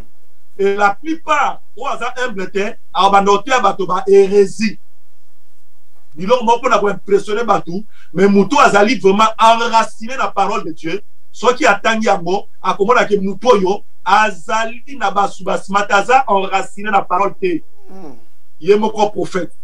e abanda obombani bato kaka bandoto abanda obombani bato kaka na baprofesi ya lokuta abanda obombani bato kaka biloko lokola bamafuta ya koimpressione boya tokolia mapa boya bolata pembe pembe boya bokosa biloko e aocreye makambo ebele boya botya bamai na bidon boya na babusi topelisa boya na biloko boye tosala boye e bino mbula moko mibale misatu baso de glace totonga eglise olingi opambolama te mais enseignement comme te la parole de dieu akozala nango te alors mpo na korépondre objectif na ezalaki il faut alongola bandimio bazali na vraie église bazolia epai ya pasteur mhm. aentraîne bango vers e pour les entraîner balanda ye bref acreye bafanatique acreye bato oyo plus tard akoboma bango lokola ye moko hmm. voilà hmm. voilà plus tard akoboma bango voilà wana tomoni objectif numéro 1 epuis tokokende na motuna mosusu eyeli eh, biso paster motuna ezali vraiment mm. na bokebi inso paster fongola matoi mpena oyoka motuna oyo balobi boye est ce que ezali obligatoire ke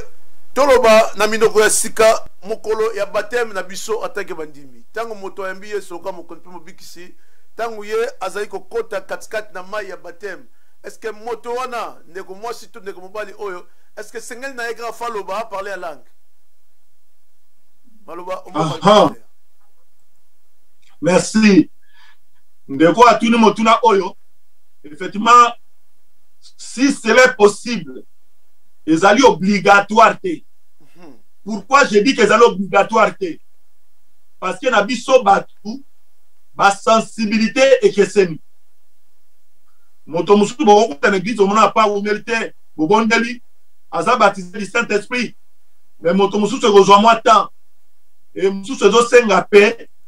baenseigne ye mpo acomprendre mpo si lotaki nani acomprendre te des fois mpo azala sensible ekoma mwa mpasi mais par contre soki baenseigne ye seke se le baptême du saint esprit akozala baptise mais pas forcément jour ozwi baptême ya mai que le même jour ozwa baptême du saint esprit non ezali obligatoire te eza obligatoire te soki moto alebi soki ezali obligatoire tobimi na mai boyi fozwa bateme le même jour ke na mokano semana etala ye malamu hmm. po bible elobi ke to examine to juge tala ye malamu ala so place ekomami ezali obligatoire te c'est vrai que na acte des apôtres omoni bato mosusu bazwi babimi na baptême directement bazwi mpe baptême du saint esprit mais la plupart ya badisciple ya nkolo yesu masiya batema saint esprit epesamela na bango après mesi bazwaki batema ya jean baptiste hmm. e batango na yesu te bazwaki na baptise du saint esprit te mais bayaki kozala baptise quand il y a eu le saint esprit rakiti na fusion du saint esprit nde bayaki kozala baptise c'est pour dire que pas forcément que moto azwa kaka baptême du saint esprit le même jour azwi baptême immersion ya mai pas forcément eza obligatoire te amen voilà nakanisi uh, tokoke na motuna mosusu toza na mituna mingi tokoyeba kopesa na mosali na nkolo parce ya motuna mosusu ezali lolenge oyo toki kopesa yo motuna oyo eh, ezali vraimen na limemi ya motuna oyo parce na baeglise na biso soki mondimi mondimi ya mobali to mondimi ya mwasi akomi koexamine baprofesi oyo ebimaki pandake tozalaki na kati na lingomba profesi ebimi babimisi profesi mpo na ndeko soki mondimi akomi koexamine profesi oyo mpo na nini la plupart ya basali na nzambe bakobenga mondimi oyo akomi motomboki soki okoki kopesa biso eyano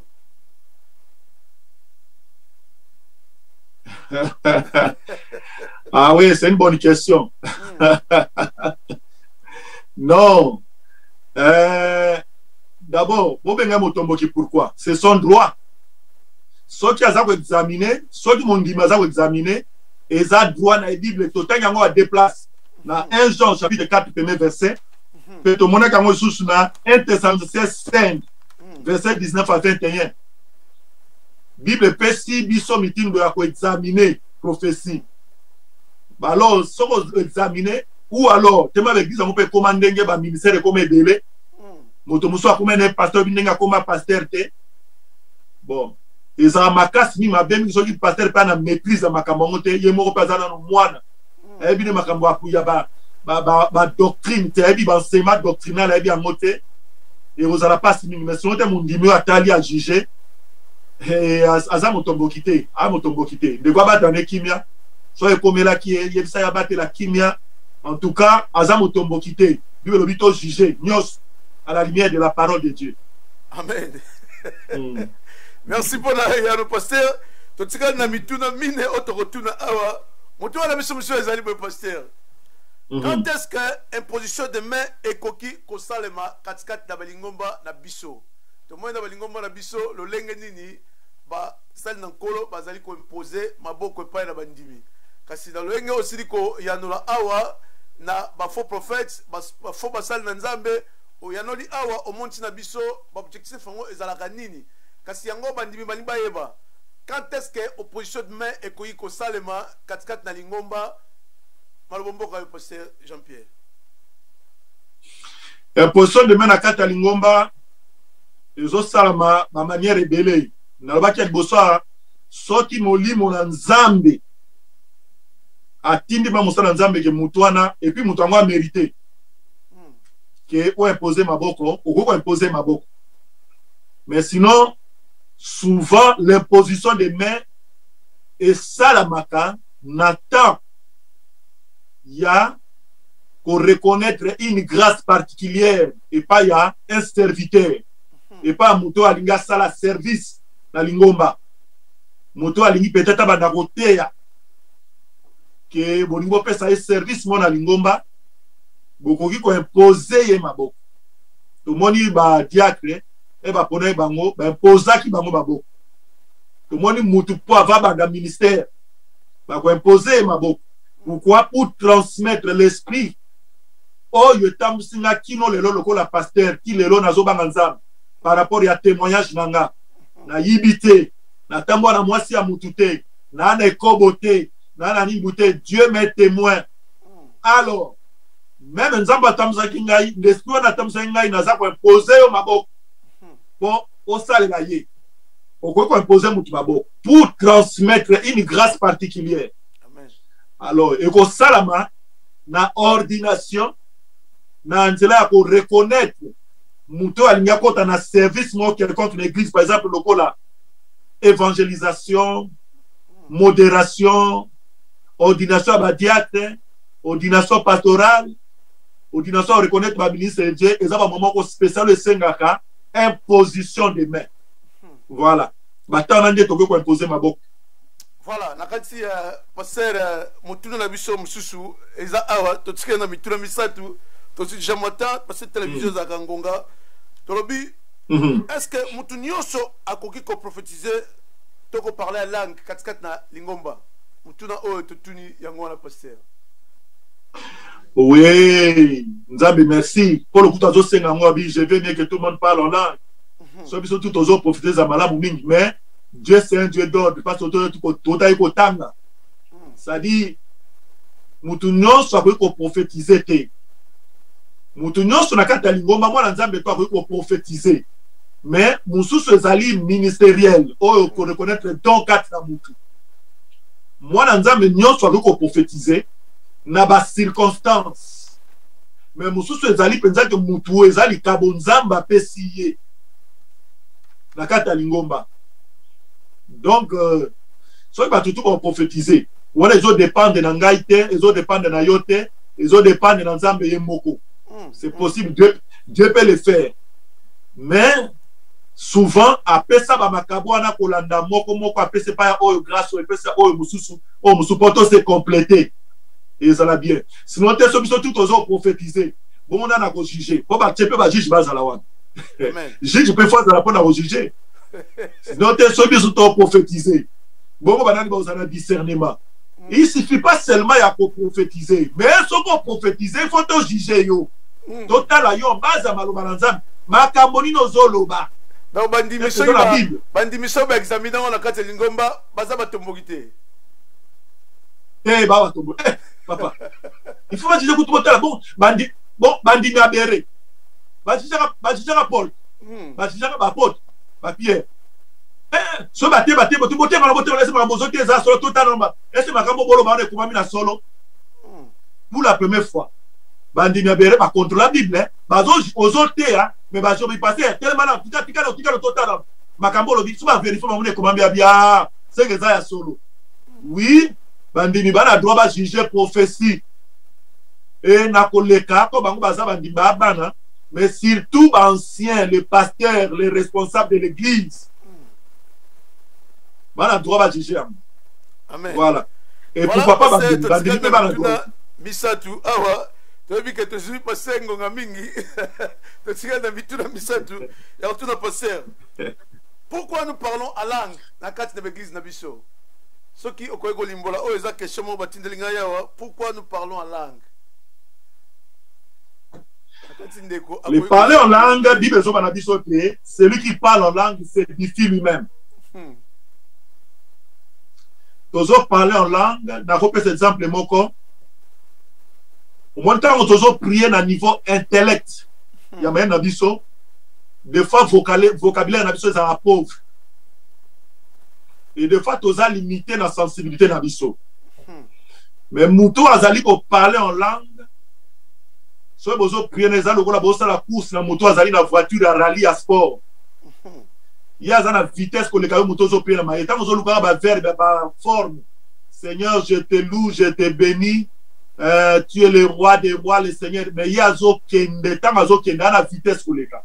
parce que moto azo prie en langue il parle à dieu et il s'édifie lui-même par contre so akomi na assemblée eke azo prie en langue soki abandi kotelemisa mongongo makasi il faut langue na wana ezwa interprète mm, mm, mm, mm, mm. soki interprète azali te qu'il se taise lota otanga ngo awa mm. avanda nie ça sert à rien soki interprète aza te ou abondeli mongongo ya kokita na minoko na ya sika kaka mais eza te kaganga dans l'assemblée parce que ntango bandi koganga dans l'assemblée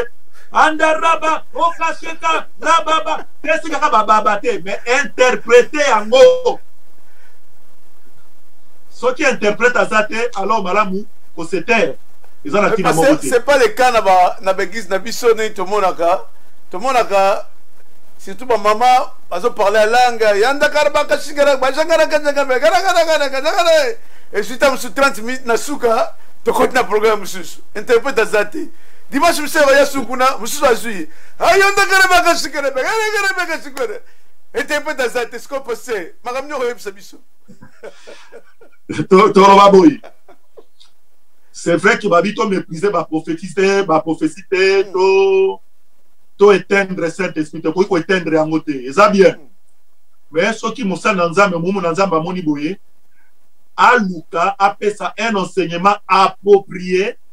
hmm. epa bandeko wana afin ke bayeba comment se conduire dans l'église mpo ordre ezala na église hmm. eza foti na bango te mingi ezali biso basali na nzambe ntango tobandi komona boye il faut koluka koenseigne hmm. pour qu'il y ait l'ordre dans l'église mais sinon te to éteindre saint esprit na bible elobi na biso to étouffe yango te mais nde ezosenga compréhension mpe koenseigne afin ke bato bayeba ndenge koyeba koseconduire ka nazobonda minoko ya sika elingi bateke maye nange na langwe nazoba te na dimine nayeba kokitisa mongongo natika ndeko mosusu peut-être namoni azomata makasi mosusu aza na message hmm. navandi nia souvent ça nous arrive omoni moto akei papapapapa omona ye moko mpe interprete kasi ye moko apesi prophétie oui tocomprendre message euta epai na nzambe hmm, amen édifie corps ya christ édifie église wana tomona bake wi nzambe azali na biso mais pas dans les, pas dans les désordres hmm. merci pasteur motuna mosusu ezali boye est ce que ezali normal na aire ya campagne tomoni nde totyaka bafiche bafiche mosusu bakomaka journée de miracle et guérison est ce que ezali normal na ntango ya bacampagne d'évangélisation bakoma lolenge wana journée de miracle et de guérison tomona yango batiaka na bapancarte tomona yango même awa tozomona yango na bafacebook batie église boye ezali koorganize journée boye ya campagne miracle et guérison na kisasi tomonaka meme bapana minene est ce que lolenge ozali kolekisa biso nyama mobimba ndenge ozali kolimbola na biso à la lumière des écritures est ce que motuna oyo eyano nini ekoki kozwa nzambe apambola yo papa alva motuno nasepe nango makasi amen nasepe nango makasi vraiment ezali moko ya desordre na kati église hmm. souvent mingi d'église na biso nous avons un problème heureusement ke ezotuni na ntango ya bacampagne mais souvent oyo toorganisaka mingi tokoma organise mingi eza baséminaire e baséminaire hmm. yango mpe defois ekoma na confusion hmm. un séminaire est donné dans l'église pour enseigner le peuple de Dieu. Hmm. Une campagne est organisée par une église pour gagner des âmes dehors. Donc, ça va pas gagner, il y a tout ça, les campagnes d'évangélisation. Hmm, hmm, Différence, c'est Ali à moi. Séminaire, et Ali Pona, bana na nzambe bakoki mpe koinvite bapagano mais souvent ezali mpo bana nzambe bayekola maloba na nzambe campagne evangelisation ezali mpona to évangéliser bato baya maintenant mm. allez mettre dans les panneaux ke boya les journées de miracle sikoyo motuna tokotuna est ce que ezali campagne d'évangélisation ou ezali séminaire mm-hmm. alors soki ezali campagne normalement eza baslogan moko publicitaire mm. nga nabenga yango baslogan moko publicitaire jésus tokosala ye publicité te jésus ye moko amisalaka publicité hmm. omona bengisa bato baya pesa teme na yo ou yaka campagne d'évangélisation ezalisa bato baoya soki baye normalement même na baprière toprière chaque dimanche faut toujours prier pour les malades hmm. et si quelqu'un est malade benga bato bazali ya bancienne église baprie mpo na ye soki moto ya libanda ayaki na kati ya campagne bokowana to bokobengisa que les malades viennent que ceux qui sont dans les problèmes que ceux qui sont tourmentés baya na campagne d'évangélisation nous allons prier pour les malades là c'est compréhensible na kondima na ngai eloko ya ndenge wana mais allez venez voir journée de miracle non là c'est aller toucher la souveraineté de dieu nzambe moto ayebi attente ya, ya auditoire attente ya population ekoya mm. e na kati ya campagne to na séminaire to na droit toprie mpo na bato bamaladi mais tokoki kosalela nzambe bize te boya bongo na journée de miracle bongo bajournée mosusu etikala ezala journée de miracle te mm. non il y a pas une journée de miracle te ezalaka te journée tout oyo nzambe apesi ezali papa alpha journée tout il faut s'attendre à un miracle amen il y a pas une journée spécifique que nzambe azela mpo akeli ka jour wana boyeboye jésus ka imarche atambolaki te ke aboya ah, sikoyo ngai yesu yo eboya lelo journée ya miracle yesu yango kutu aloba yango te mhm. yesu abanda okende so kuta na moto aza malade abondeli mpo na ye ageli mpo na ye c'est ça que l'église doit faire amen est ce que moto ayaki na séminaire omonaki azalaki malade pusana mpo na ye bondela mpo na ye du reste moto akosala miracle ezali yo te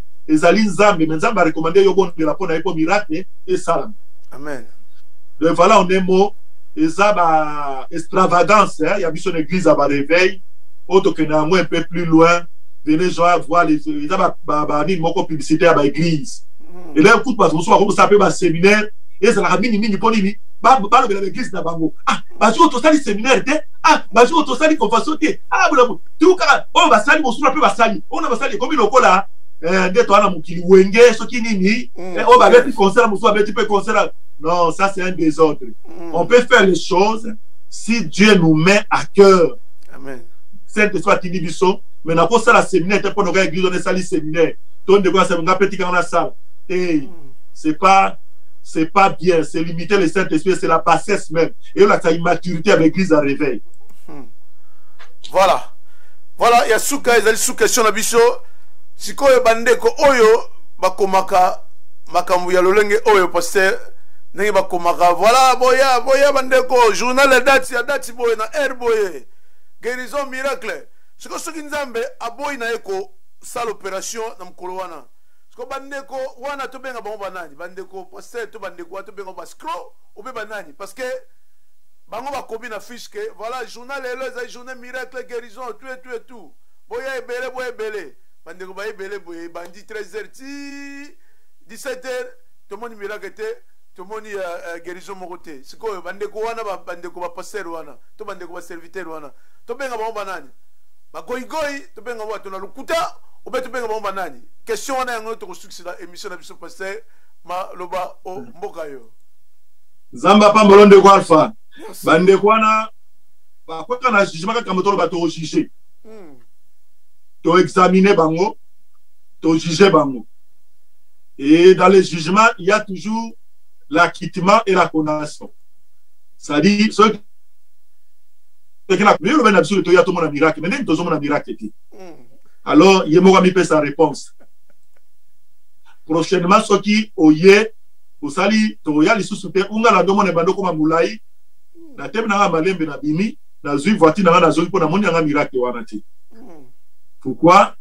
deye soki omoni ndenge wana soki oza mwana nzambe asosi ojuge o deja kutu na oke capable te na parti ya lifete apamba ngai nakende baseminaire mosusu te natali kaka na lifete apamba natali na juge deja nabi il y aura rien de bon là-bas mona mpe naye na ngai te navandi mpo nayebi keloko malonga eozala te donc euh, c'est vrai faut to juger bango sikoyo ba escro ah peut-être terme ezali trop dur hmm. mais par la grâce de dieu dans l'amour tobenge ndeko mais yo olobaki na biso ke obaki na biso ke tosa miracle bongo sikoyo miracle yango ezali wapi journée yango tolobaki journée de miracle mais journée yango tomoni miracle te oui toi na droit to juger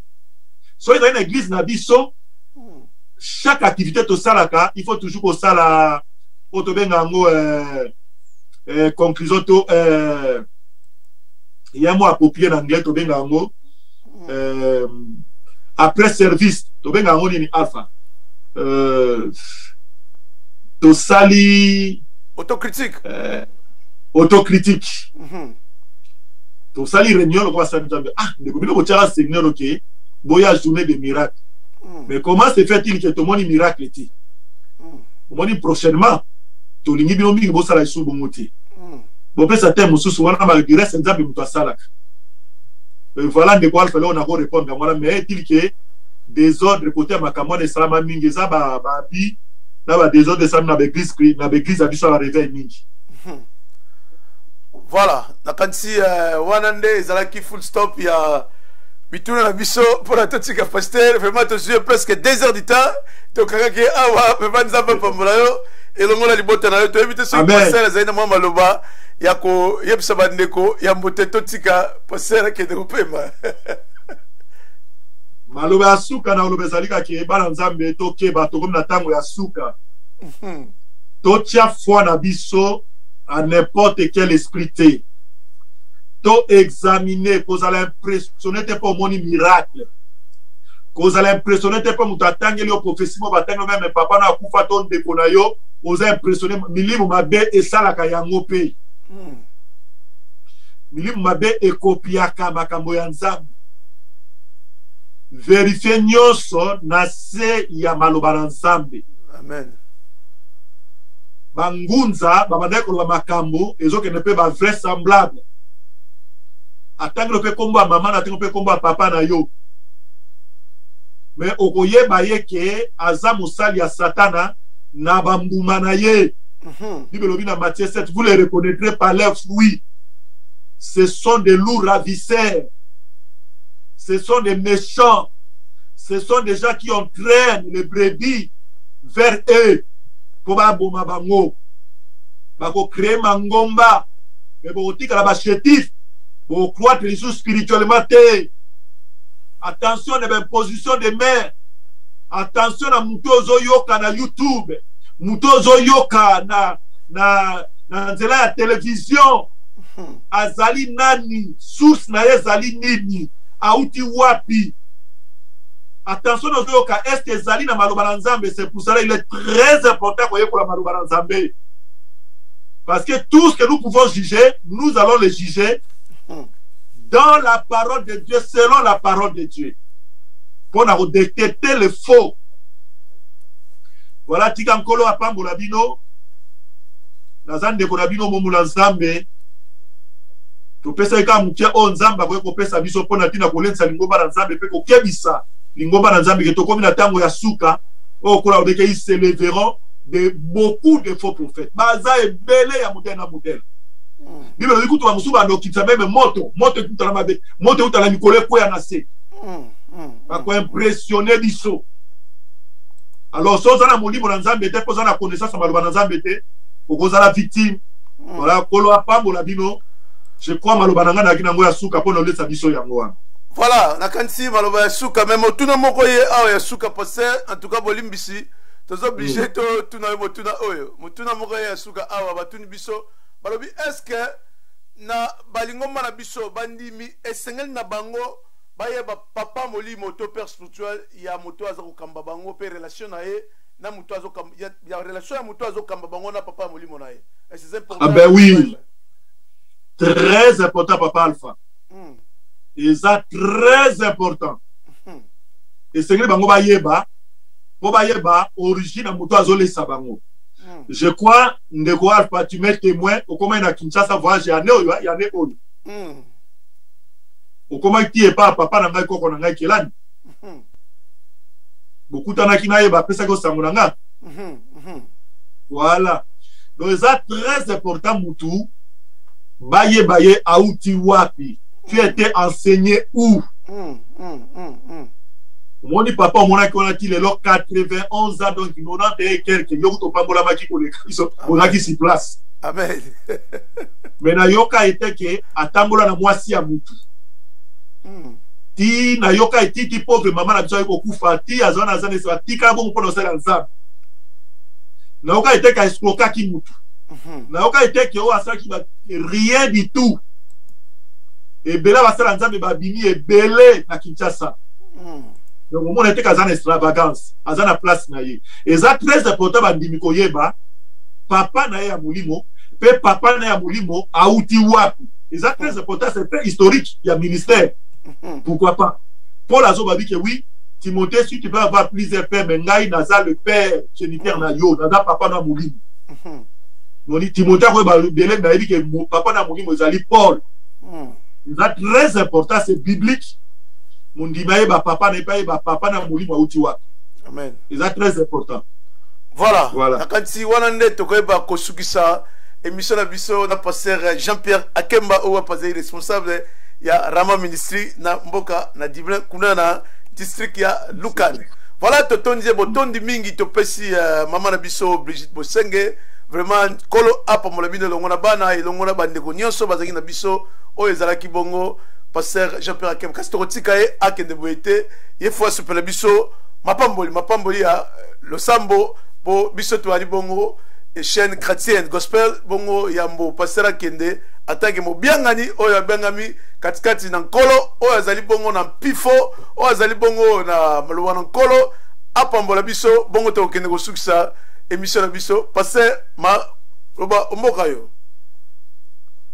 we merci mingi ndeko alpha nzambe apambola yo e mama hortense mosala kitoko kote technique nzambe apambola ye mpe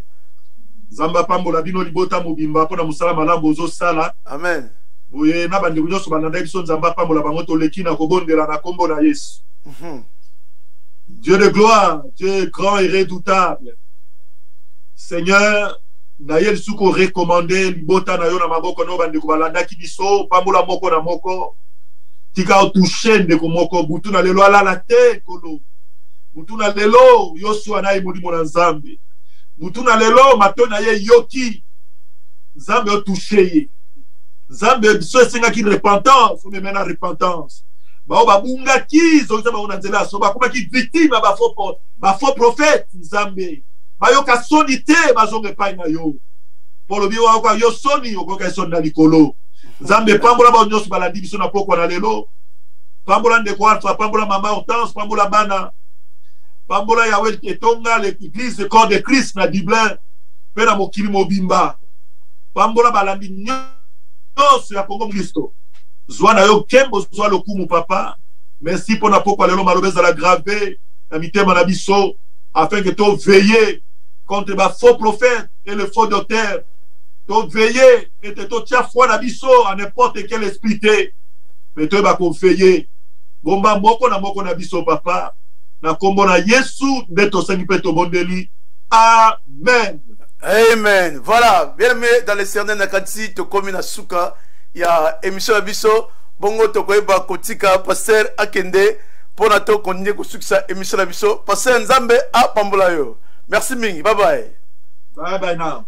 Bada. Voilà, bien aimé, dans le Seigneur, nakanisi ya to tiki pasteur accueilli, nakanisi bokoki komona écran esika azalaki komonana aza lisusu wana te paster akei paster akei voilà studio na biso etikali ndenge wana voilà bandeko balingami kati na nkolo nzambe apambola bino banso oyo wapi bozalaki kolanda biso tomoni paster azalaki kobima na ekran oyo ye wana tosili kotika ye akende bongo bandeko balingami kati na nkolo topesi bino banso mbote mbote mbote baoyo bozalaki kolanda biso na mokolo ya lelo na emisio na biso tobengi tosola yango ya bonzambe awa tosololaka basujet inso batopic différent oyo wapi ezali kopesa difficulté na bana na nzambe bongo toyaka na mituna wana mpe bandeko batindaka mituna à la lumière, à la lumière des écritures mpo na toleka kokola kokola na maloba na nkolo na yango topesi melesi na regi kuna mpa mama na biso azalaki na technique na son mama hortense oyo mpe azali molongani na ngai nzambe apambola wana kanisi emission sila mpe deux ans de temps nde okende koyeba kopema voilà topesi osi bandeko banso oyo bazalaki na ligne na biso tika nkolo aleka na koyeba kopambola bino mama na biso elizabeth david molongani ya ndeko richard siwambanza nzambe apambola bino mpo na nini te ndeko kaleb oyo azolanda biso kuna na mboka congo mpo na nini te ndeko eh, beni oyo azolanda biso si na mboka congo mpo na nini te ndeko na biso bandeko bazali ebele ndeko beti iyoka toyebi te soki olanda biso wapi nkolo aleka na koyeba kopambola bino mpo na nini te ndeko letre abote na tirel tika nkolo apambola yo lisusu esika ozali kolanda biso topesi mbote na paster dudu mbala mpe na molonga na ye mimi mbala oyo baza kolanda biso andiraka tiperari topesi mbote epai ya paster leon kakuji oyo wapi azali mpe lisusu kolanda biso nkolo aleka na koyeba kopambola bino banso oyo bozali kolanda biso mpo na nini te epai ya mama na biso ema oyo azali kolanda biso na mboka na rush topesi bango nyonso nkolo aleka na koyeba kopambola bango mpo na nini te epai ya mama rosiane munga kiese oyo alanda biso a partir ya paris na france nkolo aleka na koyeba kopambola bino na confiance oyo bazali kotya katikati na radio television congo mokristo bandeko bazali mingi mpe topesi mbote na ndeko brigite bosenge oyo mpenza olanda biso katikati na mboka na balbrigan mpo na nini te ndeko julien de sonama julien de sonama nkolo aleka na koyeba kopambola bino banso oyo bozali connecte oyo bazali kolanda biso katikati na apibox tv kuna na canal 11 17 nzambe apambola bino pourkui pas bandeko banso balanda biso andireka radio congo mokristo fm nzambe mpe aleka na koyeba kopambola bino banso voilà tozali wana bandeko na bino oyo wapi tozali koya juste ko invite bapastere ebele oyo bakoki koya katikati na esika mpo na koyeba kopartage elongo na bino toyali kopesa bainvitation mpe bapastere nyonso oyo bazali na temps ya koleka katikati na esika mpo na koyeba kokabola oyo tobengi nyama ya mobimba nyama ya mobimba ezali biblia fo toleya yango ebandeli kino na suka mpo na toyeba komilengela mikolo ekomi mabe tobosani te bien aimé dans le seigneur lobi tozali na émission spéciale na docteur luki bongo lobi tokoyeba kolobela maye matali bavaccin to ndenge tolobi na lingala mangwele tokolobela mangwele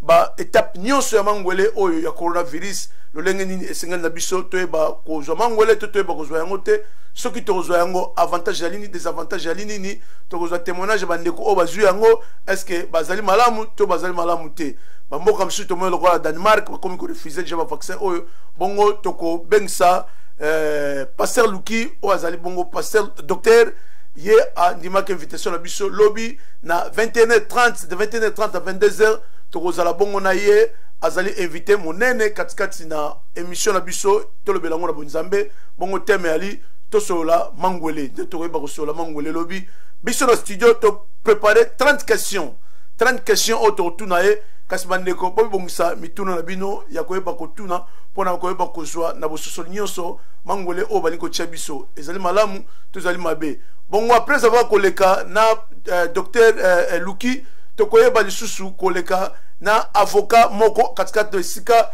ye akoyeba kolimbola biso au jet de la loi soki vaccin wana toboyi yango eloko nini ekoki kolekela biso atant ke barefugie to atant ke barésident katikati na mboka oyo voilà lobi tobosana te à partir ya 21h30 to se connecter na radio télévision Congo Mokristo mpo na kolanda émission oyo tokolobela si maye matali mangwele mangwele yango nde tokoyeba kolobela mituna ezali mingi mingi mingi ya kopesa na biso mpo na tosolola na maye matali mangwele voilà tobosana te tosabone na chaîne na biso na congo mokristo tv kuna na youtube mpo na tokokoma kosala ba live na biso kala mingi te kaka seulement na youtube parce que kuna ba configuration ya léger et ezali kuna par rapport ya facebook bongo tokoyeba kopartage mais pour le moment tozali na tous les plateformes tika nkolo aleka na koyeba kopambola bino biso toyali bandeko na bino oyo ya radio television kongo mokristo oyo wapi bazali koya seulement koconnecte bandeko banso elongo na biso moko tozali la première chaîne gospel na mboka na irlande oyo ezali komeka kopartage maloba na nkolo parce que biso ezalaka évangélisation par média yango nde profession na biso tobosani te toyali na bemission mingi elekaka awa bongo tosila koyeba kosabone ou encore kosadapte na koyeba ko sabone na page na biso oyo ezali bongo na logo ya bleu oyo bakomi kongo mokristo la chaîne chrétienne bongo kuna soki bosabone à chaque fois boklike bel nde boyoki bozwa ba notification kasi na profil na biso tozali déjà ya kotonda parce que profil esukaka bongo na 5000 abonné voilà bene meda le seigneur malamu ewumelaka te bongo tokomi na suka toyebi tosukisaka boye te kasi tosukisaka toujours na loyembo na loyembo oyo wapi epesaka biso nsai oyo epesaka biso vraiment esengo ntango ekomaka ke tokabwana bino yango tokoyeba kotya loyembo wana na loyembo oyo nde tokoyeba kokabwana bino ndenge kaka ezalaka tika nzambe aleka na koyeba kopambola bino banso oyo bozalaki connecte oyo bozalaki kotya biso confiance katikati na radio television congo mokristo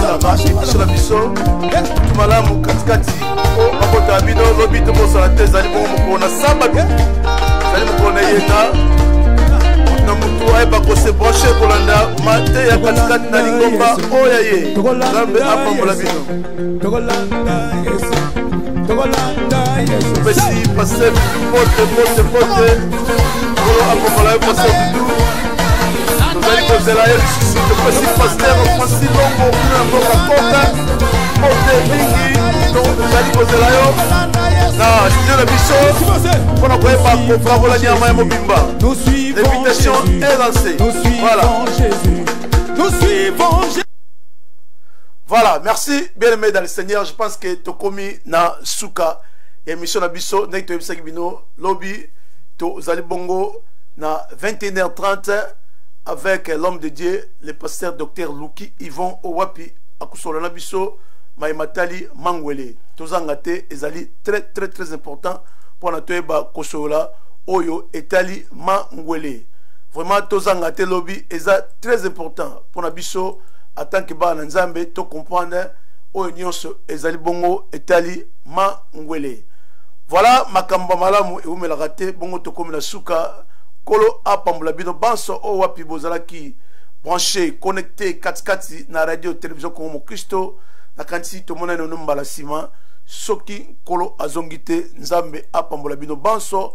esika ekutami bino tika ete nkolo azala elongo na biso banso merci beaucoup tolobi babaye